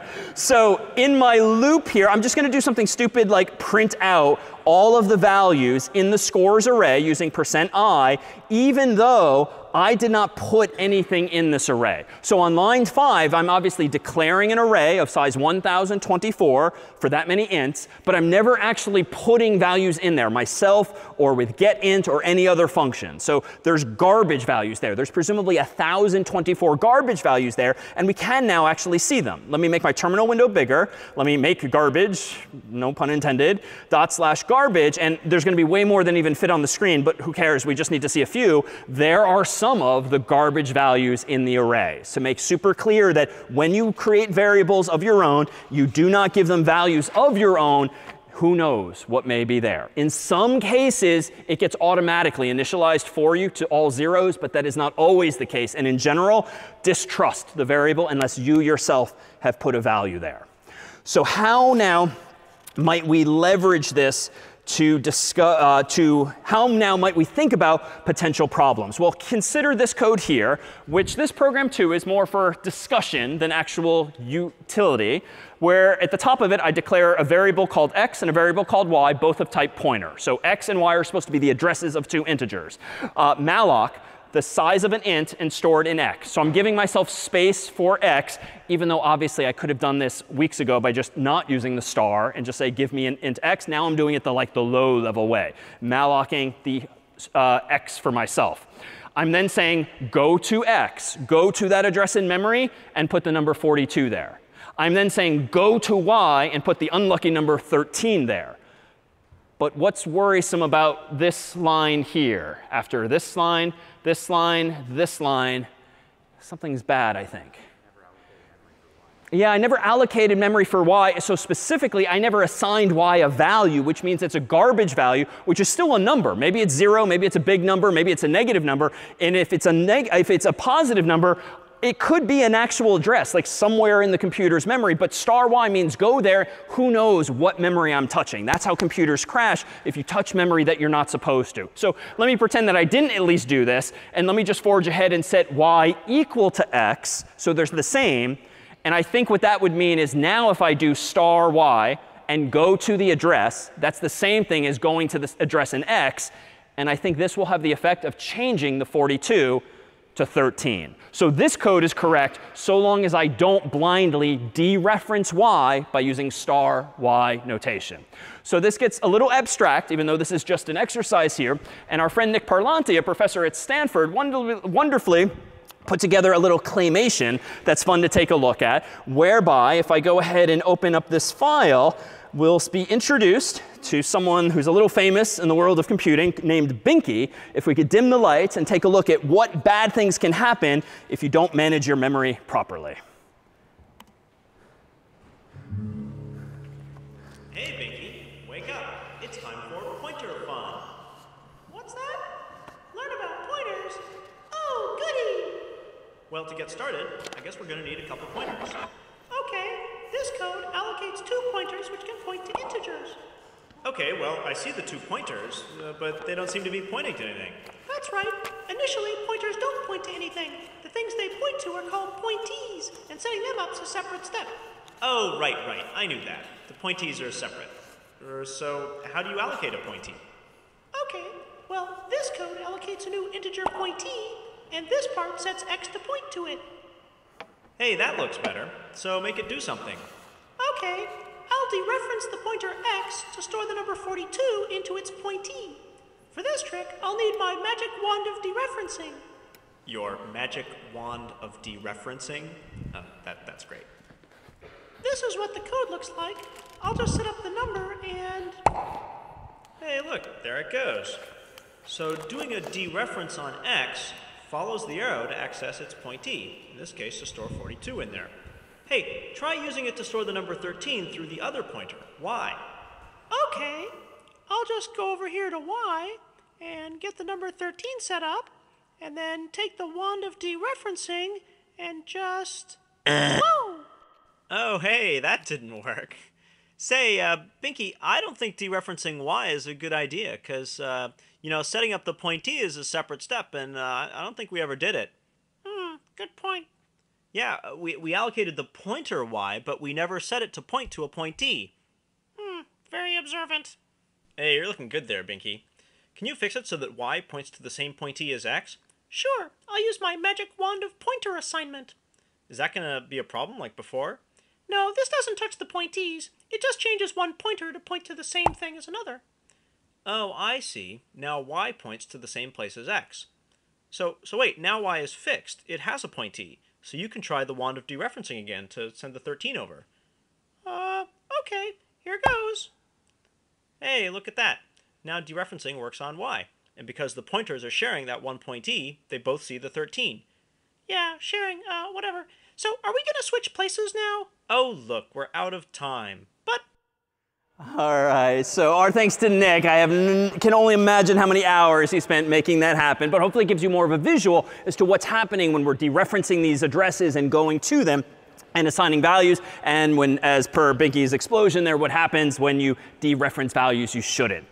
So related there too, let me do this. Let me go over to VS Code and open up now a program I wrote in advance called swap.c. And the purpose of this program is just to swap the value of two variables. So let me walk over to the code here and point out that in main, I've got two variables, x and y. No pointers, no magic there, just x and y are 1 and 2 respectively. I've got a couple of printfs here saying x is percent %i, y is percent %i, passing in x and y, just so we can see that x and y are indeed 1 and 2. I'm then calling a function called swap, which presumably should swap the two values. And then I'm just printing the exact same thing again. My hope being that it's first going to say 1, 2, then it's going to say 2, 1, that, thus achieving the idea of swapping here. And here's swap. Swap takes in two integers, a and b, though I could have called them whatever I want. It temporarily puts a in temp. It then changes a to b. It then changes b to temp and then that's it. It's a void function, so it doesn't return anything, but it does all of the mathematical work in here. So this is curious, though, because when it runs, if let me open up my terminal window here, make swap dot slash swap, I should see 1, 2, and then 2, 1, but no. Even though I do think this is logically correct. And actually, we, we're almost out of stock, but we do have another box of cookies here. That, can we get one volunteer to come on up here? Maybe, for, OK, how about you? Uh, yes? In the pink, come on up. A round of applause, though really it's about the cookies now, I know. OK. And what is your name? Uh, my name is Caleb, and I'm a first year concentrating in computer science. All right, welcome. Uh, please have us uh, stand behind the desk here. So we have two glass. No, you can stand. That's fine. We have two glasses of water, colored blue and orange, respectively. And I would like you to swap the values of these two variables so that the orange liquid goes in the blue glass and the blue liquid goes in the orange glass. Seems like a bad idea. Why is that? Because I can't get one out to put the other one in because there's, there's no third glass. OK, correct, because we do have what we generally call a temporary variable here. So here, let me give you a variable called temp. And if I give you this, how does that change things? Well, now I can take one OK. very carefully. Nice. I'm trying. OK. There we go. And now you can put B into A, if you will. Nice. And now temp goes back into that one. All right, that was very well done. Maybe a round of applause. Thank you. so this was just a cookie-based way of making clear that like the code on the screen seems to work. If I scroll back down to the swap function, it seems to do exactly what you just did there, whereby the temporary glass is where we put A, then we changed A to contain B, then we changed B to contain what was originally in A but is now in the temporary glass, and now we're done. So it did achieve the stated goal. And yet when I ran this code a moment ago, it was 1, 2, and then 1, 2 again. So why might that actually be? Well, here we can go back to some of today's fundamentals to consider what it is that's going wrong. And in this case, it's actually related to a concept we introduced some time ago, whereby there seems to be an issue of scope whereby sometimes when you're manipulating variables inside of curly braces, thus defining their scope, it has no effect on values elsewhere. The variables might not even exist elsewhere as we saw in the past. So what do I mean by this? Well, with scope, it turns out, or with matters of scope, it turns out that in this case, the way I've implemented the swap function, I'm doing something a programmer would call passing by value. I'm literally passing in x and y by their values, 1 and 2. Another way of putting this is passing by copy.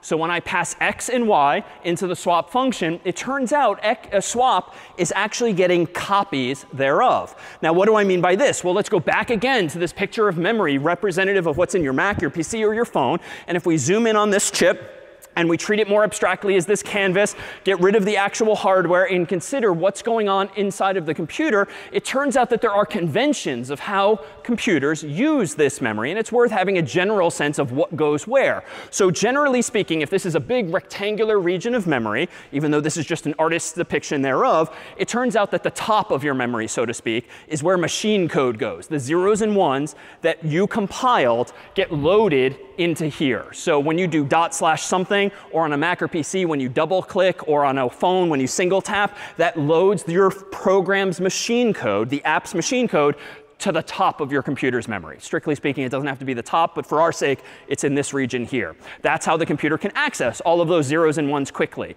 Below that, so to speak, are where global variables go. We haven't had many occasions to use these, but if you define a variable outside of main and outside of every other function in C, it's what's called a global variable. So those get tucked specially up at the top so that they're accessible everywhere else in your program.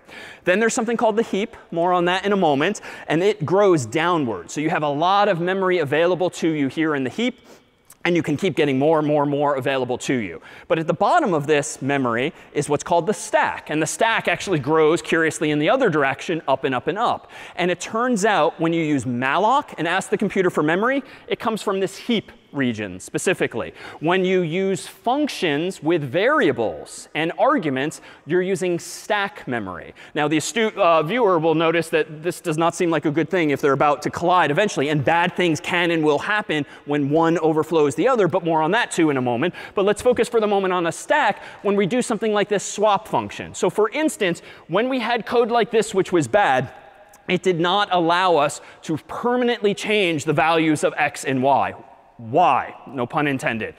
Here on the stack is where the very first function goes in your computer's memory. So main, if you have any variables, they go at the bottom of the computer's memory once you've loaded that program. So what, what do I mean by that? Well, if you think back to the code a moment ago, it was things like x and y and so forth. When main calls swap, swap goes above it on the stack, so to speak. And each of these rectangles, the technical term is frame. So this is a stack frame, this is a stack frame, and if swap called another function, another frame would go on the stack this way.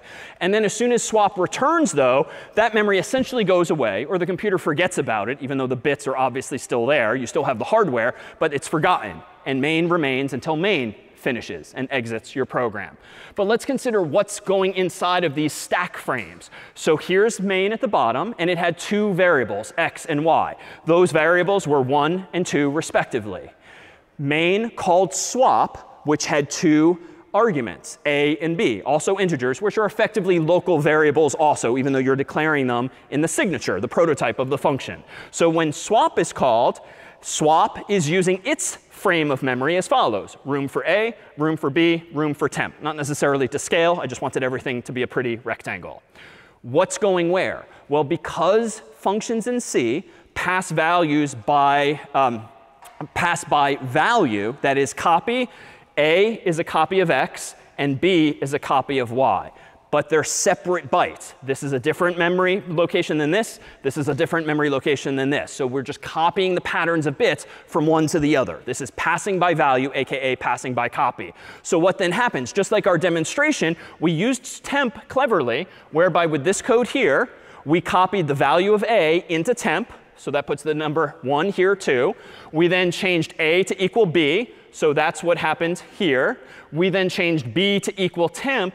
So that changed the value there. But then swap returned. You went back to your seat, leaving A and B swapped, yes, but what was not swapped was X and Y. Like you did all of this work correctly, but in the wrong scope. You operated on copies thereof. So this swap function, while logically correct, will never solve this problem correctly as written because we've been passing by value. So today we introduce a technique whereby you can pass by reference instead, pass by pointer instead. Because instead of just passing in copies, what if we actually tell swap where x is and where y is? Not what it is and what it is, but where each is. Then swap can sort of follow the proverbial treasure map, go to those locations, and change them permanently. So this was the bad code in red. And this is going to escalate quickly visually, but it's just an application of today's ideas. This is the correct solution now. So let me do before in red is bad, green after is correct. Why? The way you specify pass by reference or pointer instead is you change swap to take not two integers per se, but two addresses of integers. And the syntax for that today is just to add this star. So int star and int star. Meanwhile, the code down here has to change. Temp does not have to change. Temp is still just a variable that's ready for, for some value. But the A and the B and the B need to be rewritten as follows. So star A means go to the address A and get its value and put it in temp, just like you reached for one of the glasses and poured it in. Star B means go to the value in B and grab it, and then go to the value at A and change it to be that at B. And then lastly, this, this is not now sweat, this is now colored liquid. Uh, this last line is uh, go to the address B and put temp there instead. So the picture now is fundamentally different. Main looks the same still, but when swap is called effectively, and we won't bother with OX 1, 2, 3, or 4, 5, 6, let's just do it with arrows pointing at things. A is a pointer to X, B is a pointer to Y. So what do those lines of code tell us to do? Go to A, so that means this kind of like the old Chutes and Ladders game if you ever played, like follow the arrow, and that leads you to the number 1, and store it in temp. So that one was straightforward. Uh, go to the value in B. So follow the arrow, that gives us 2, and put it at the location in A, which means put the 2 there. The very last line of code now means get temp, which is obviously there, and go to the address B and change it to 1. So now, even though we've not changed A and B at all per se, we've used them as little breadcrumbs to lead us to the right location in the computer's memory. So when swap returns this time, even though it's a void function, it has made a difference. And it's had this effect of swapping the actual original values of x and y. The code admittedly is cryptic looking. It's not the most user-friendly syntax, but this ability now to go to locations in memory and change what is actually there is what we've been given today with this new syntax of the star operator and occasionally as needed, the ampersand one as well. Questions on this technique, which is admittedly like the most sophisticated of the examples thus far, and will probably take time to get used to. Yeah? I say that again. If, will this work if? Ah, good question. Will this work if you're swapping the values of two strings instead of two ints?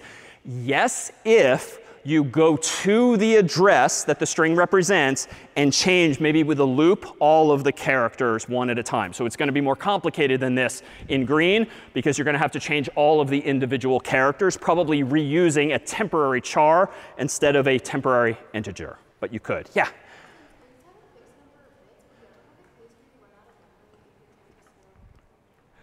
Uh, since integers have a fixed number of bits, is, can you ever run into a situation where you run out of memory? Absolutely. Like your phone, your laptop, your desktop can only do so much, can only count so high because of these physical limitations. And hopefully, it's just you never reach that limit. Uh, but we'll talk in a couple of weeks' time when we transition to web programming and databases and the Metas, the Microsofts, the Googles of the world that have crazy large amounts of data. Like the number of bits we use in those contexts is actually going to matter for exactly that reason. If business is booming and you've got lots and lots of data, lots and lots of users, you need to be able to count higher. All right, so what about these other locations in memory? Well, it turns out that indeed the stack as we've described it grows up and up and up. And recall that stack here in this sense is kind of like the stack of trays in the cafeteria or any of the dining halls. Like there's one tray, another tray, another tray, another tray, but then you start removing them from top down. So there's an ordering to them that we'll actually revisit next week. But this is not a good design in general. Like you shouldn't be doing things like two trains on the tracks, like barreling together uh, toward each other in this way. But honestly, it's kind of the only way because if you've only got a finite amount of memory, OK, sure, you could have them both grow in the same direction, but they're still going to hit some impasse eventually. You're still going to run out of space. So the way computers were designed years ago is they use memory in this way, even though bad things can happen. If you use too much stack space, or too much heap space. So what do I mean by that? Our example a moment ago just had us call main and then swap, and that was it. So it's like two frames, no big deal.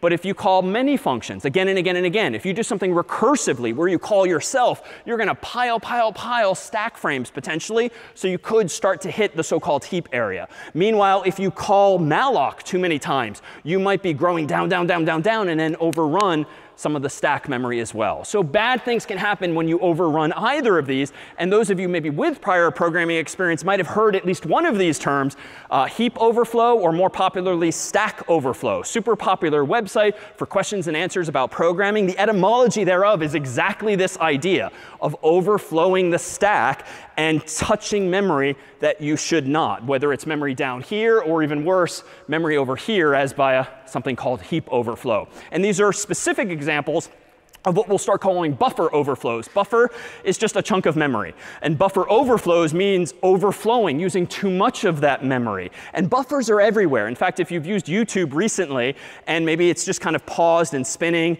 and spinning and spinning, maybe you're on a really bad connection, like there's no more bytes in your buffer. There's no more video footage in the buffer because maybe you have such a bad connection. Um, but if, the, if Google were to make mistakes and try to download too many bytes at a time, they too could overflow a buffer. And if you YouTube or similar apps have ever crashed? It could be because they're trying to use more memory than they actually should be. So these things are sort of everywhere. Now, as for these training wheels, we sort of took away the mystery of what a string is. But what about all of these other functions we've been taking for granted now for a few weeks?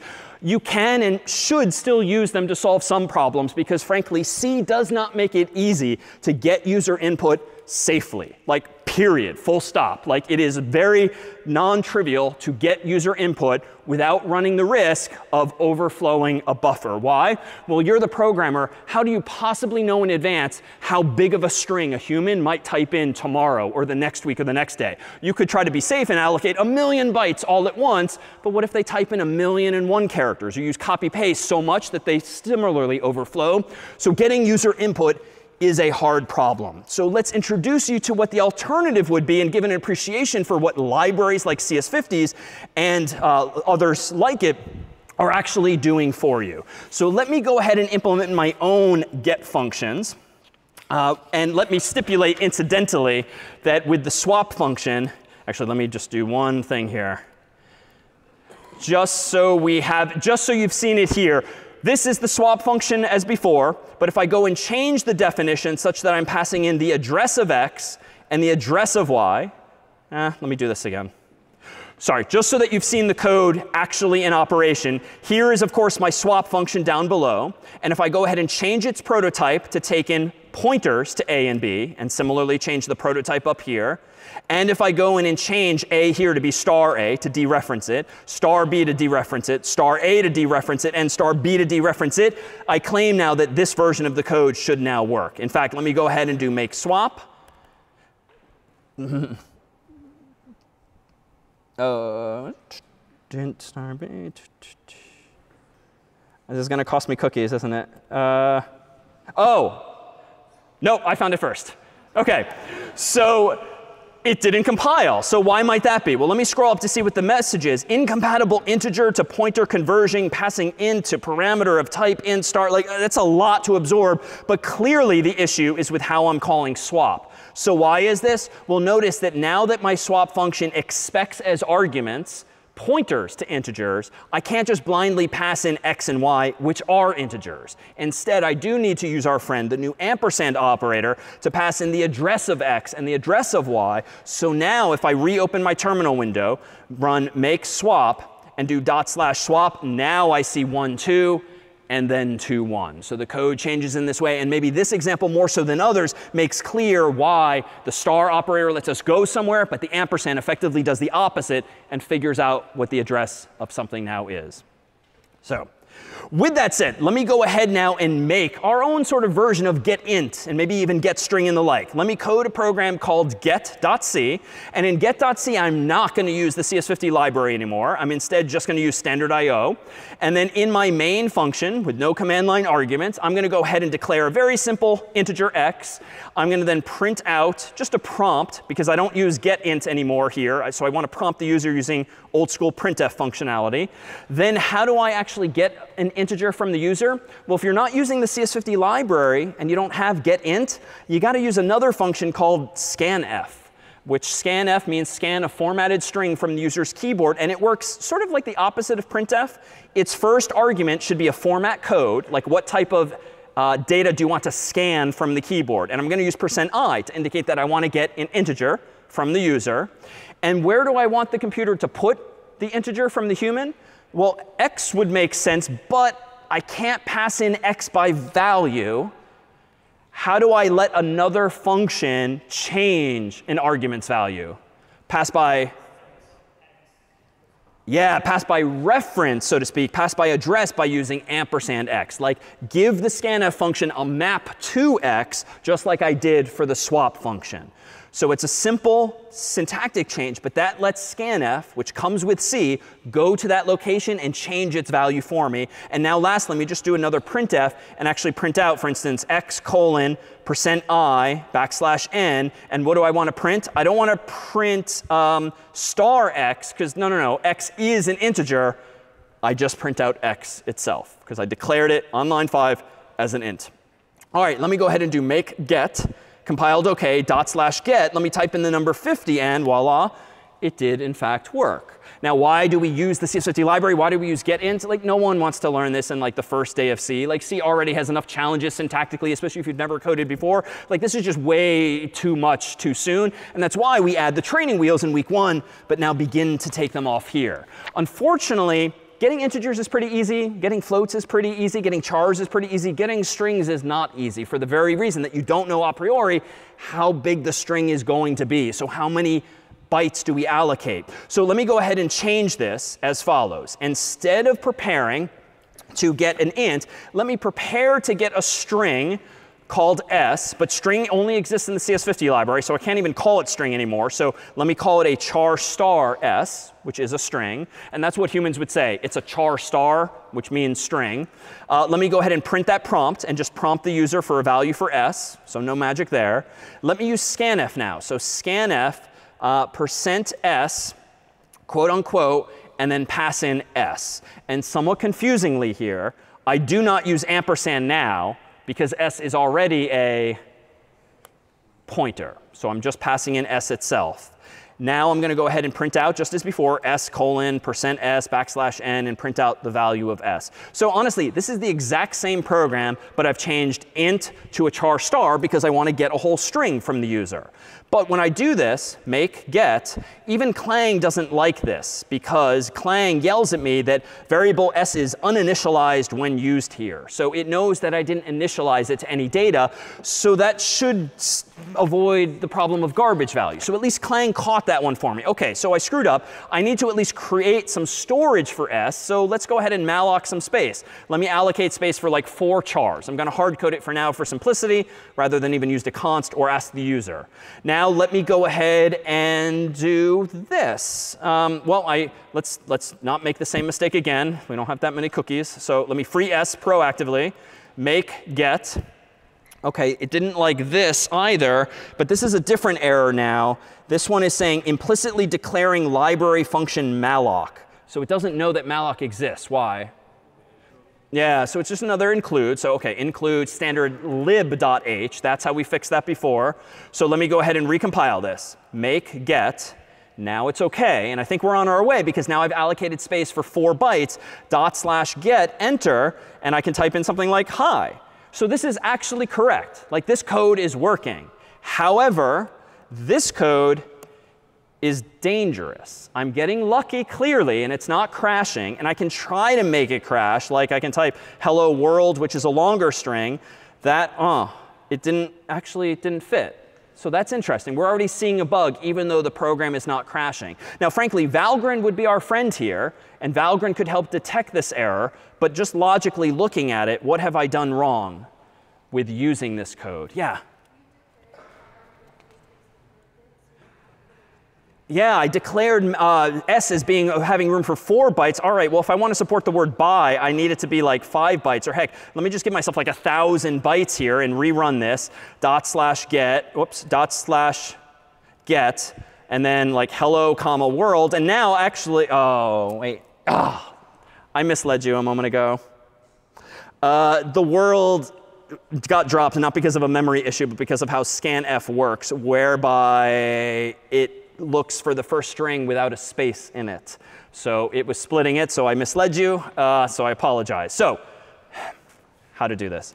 Let me rewind, and let me do this instead. So let me go ahead and make get, and let me do dot slash get, and let me just type in some really long string without hitting the space bar or anything noteworthy, but just a really long string that's clearly longer than 4.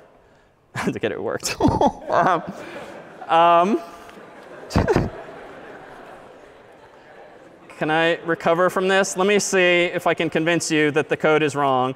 So if I paste a really long string that's clearly longer than 4 and now hit enter. Damn it, it still worked. All right. Oh, did I not make it? I thought I did. All right, so we'll try this again. Damn it. No, it's working. It's no cookies. Um, so how do I want to recover from this? So this is the thing with memory related errors. Like I'm kind of flailing up here because I wanted it to actually crash, but like this is the non-determinism with memory related errors. It turns out that the computer is probably allocating more memory than we actually need, even though I'm only asking it for four. And frankly, if I pasted a really, really long string and wasted more time, we could induce it to crash. I'm just getting pedagogically very unlucky at the moment and embarrassed to say.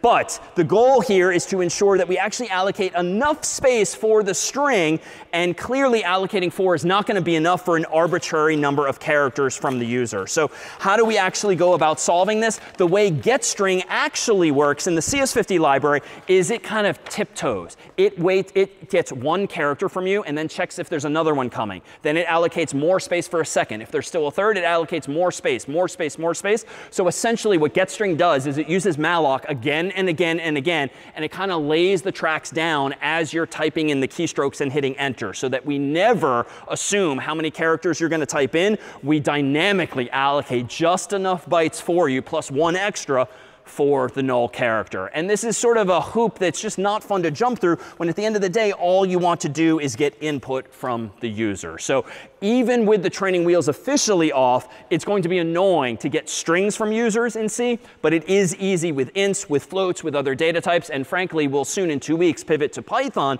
which takes care of all of these problems for us and manages our memory. But for now, we have one final to do beyond scanf, which is file IO, which is a fancy way of saying input and output. Because now that we know a little bit of hexadecimal, now that we know a little bit about pointers, we actually have some more functions available to us that will let us actually manipulate files on a computer's hard drive, like image files or text files or anything else we might want. Among the most common file, uh, functions that are related to files are these here. fopen is going to be a function that lets you open a file doing in code what you might otherwise do by going to File, Open in a graphical program. fclose does the opposite. It's the way you encode sort of click on an X and close a file. Nothing's going to happen visually, but it's how you give access to a program to the contents of a file. fprintf it allows you to print not to the screen, but to a file. fscanf lets you read data not from the keyboard, but from a file. fread and fwrite are similarly used to read and write data from a file, but generally binary data, like images or something something that's not ASCII or Unicode text. fseek is a function that lets you kind of move around in a file left right, kind of like fast forwarding or rewinding through Netflix or similar when you want to jump to a different location in a video or in this case a file. And there's bunches of others as well. So to give you a sense of what you can do with it when it comes to manipulating files, let's write just a couple of final programs, for instance, that let us manipulate some of this code for us. In fact, let me go ahead and open up here in VS Code a new file called, say, phonebook.c. And in phonebook.c, we're going to implement now a version of the phone book like we did in the past. But in this case, we don't actually have a uh, forgetful program that prompts the user with getString for a couple of names and numbers and then just forgets about them altogether. This version of the phone book is actually going to go ahead and save them persistently to a file for us. And for this, let me go ahead and open up just on my other screen here. Uh, but without flipping over just yet, let me go ahead and open up. Give me just one moment. So we have this ready to go. Let me go ahead and create the file, this program as follows. I'm going to cheat and save time by using the CS50 library because I do not want to get into the nuances of getting strings character by character, which itself will escalate too quickly. But let me go ahead and include the CS50 library, the standard IO library, and lastly, the string library for this particular case. In my main function now, I'm going to go ahead and open up a file called maybe phonebook.csv. If you've ever used a CSV file, it's like a lightweight spreadsheet that you can open in Apple Numbers, Google Spreadsheets, Microsoft Excel. But CSV means that we're going to separate all of the values by commas. So anywhere we want a new column, we actually use a comma, as we'll soon see. So how do I actually do this? I can open a file called phonebook.csv by literally using fopen phonebook.csv. And I have to tell fopen how I want to open it. Do I want to open it for reading, with R? Do I want to open it for writing with W? Or do I want to open it with appending A? And for something like a phone book, if I run this program again and again, I'm going to actually do append so that new contacts get added to the file and we don't overwrite it with W. Now, what does fopen return? It technically returns a pointer to a file. But this one's a little weird. It's all capitalized, but it is a thing in C. A file in all caps star file is going to be a pointer to that file in memory. So think of fopen as opening the file and returning the address thereof in the computer's memory. All right, what do I want to next do? I want to go ahead and get two strings from the user, like maybe someone's name, uh, using getString, again, to keep things simple for now. Uh, let me then go ahead and get another one. Uh, how about their number? Using getString again, prompting for number.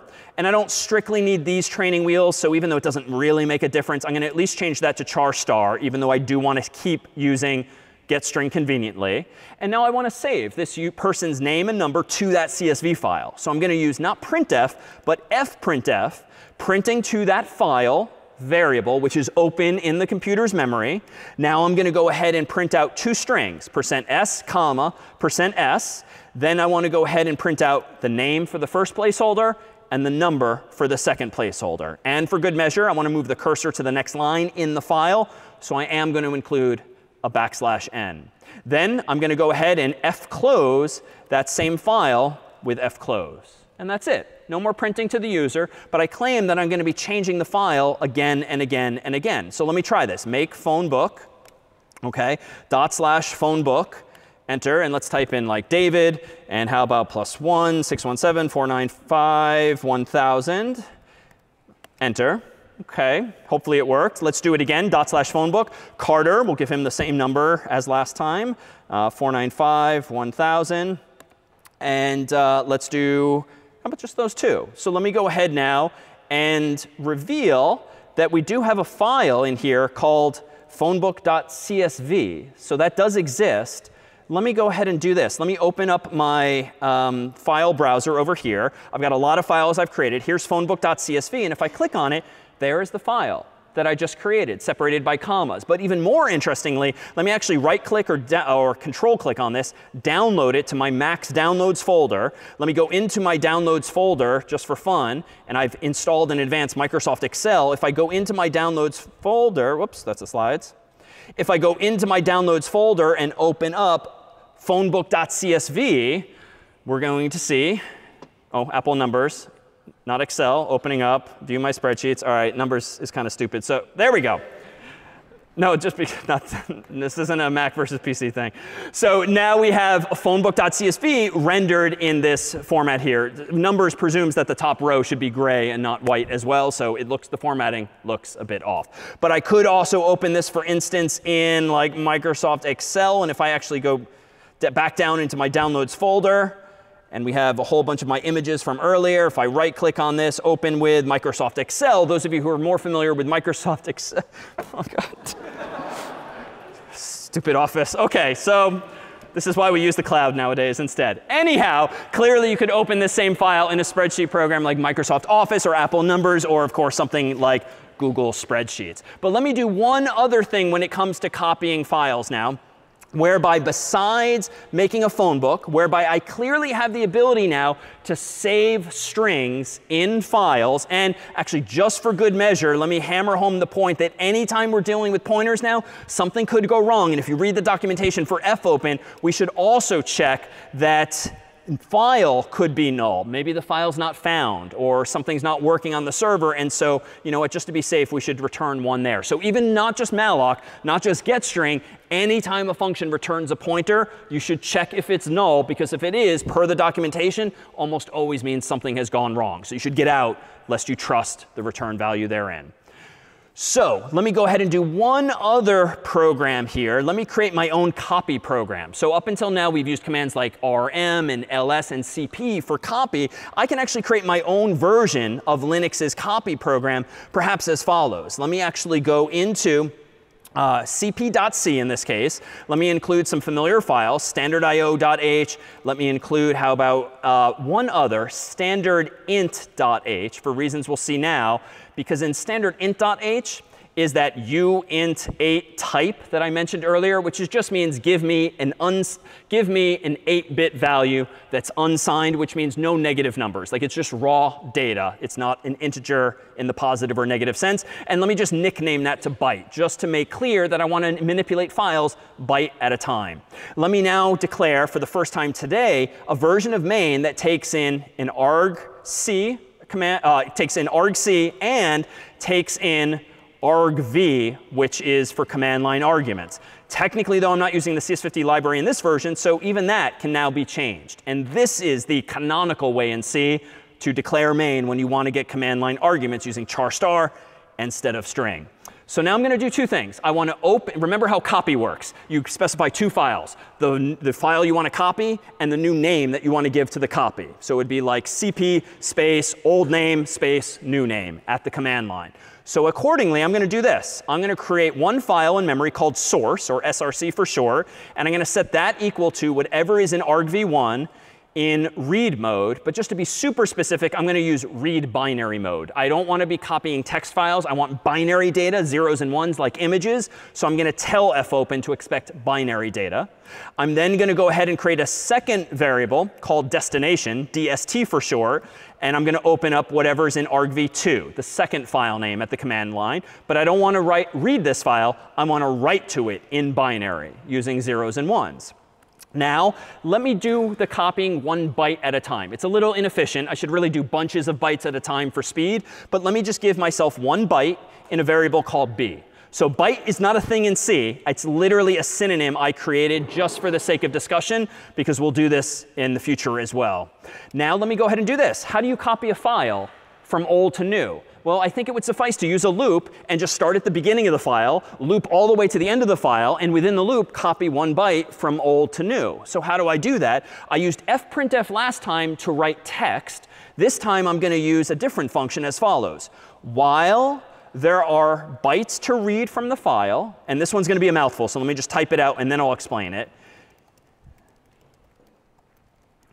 While that line is true, go ahead and write this line, which is similarly a mouthful, so I'll type it first and then explain what it does. Then I'm going to close destination. Whoops. Then I'm going to close source. And I claim, if I haven't messed anything up, this will now copy files for me. How? So this is indeed a mouthful, but there's a function called fread whose purpose in life is to read one or more bytes for you. How does it work? Well, just like swap, just like scanf, you have to tell it where to load those bytes in memory. So if I want to put them in the byte called b, I can't just say b because that's pass by value. I need to pass by reference. So I say the address of b is where I want you to put one byte from the file at a time. How big is a byte? Technically, I could just say 1 because we all know how big a byte is. But I'm just going to be super proper and generalize this as size of b so it just figures it out for me, just in case we ever do more than one byte at a time. How many bytes do I want to copy at a time? 1, just to keep it simple.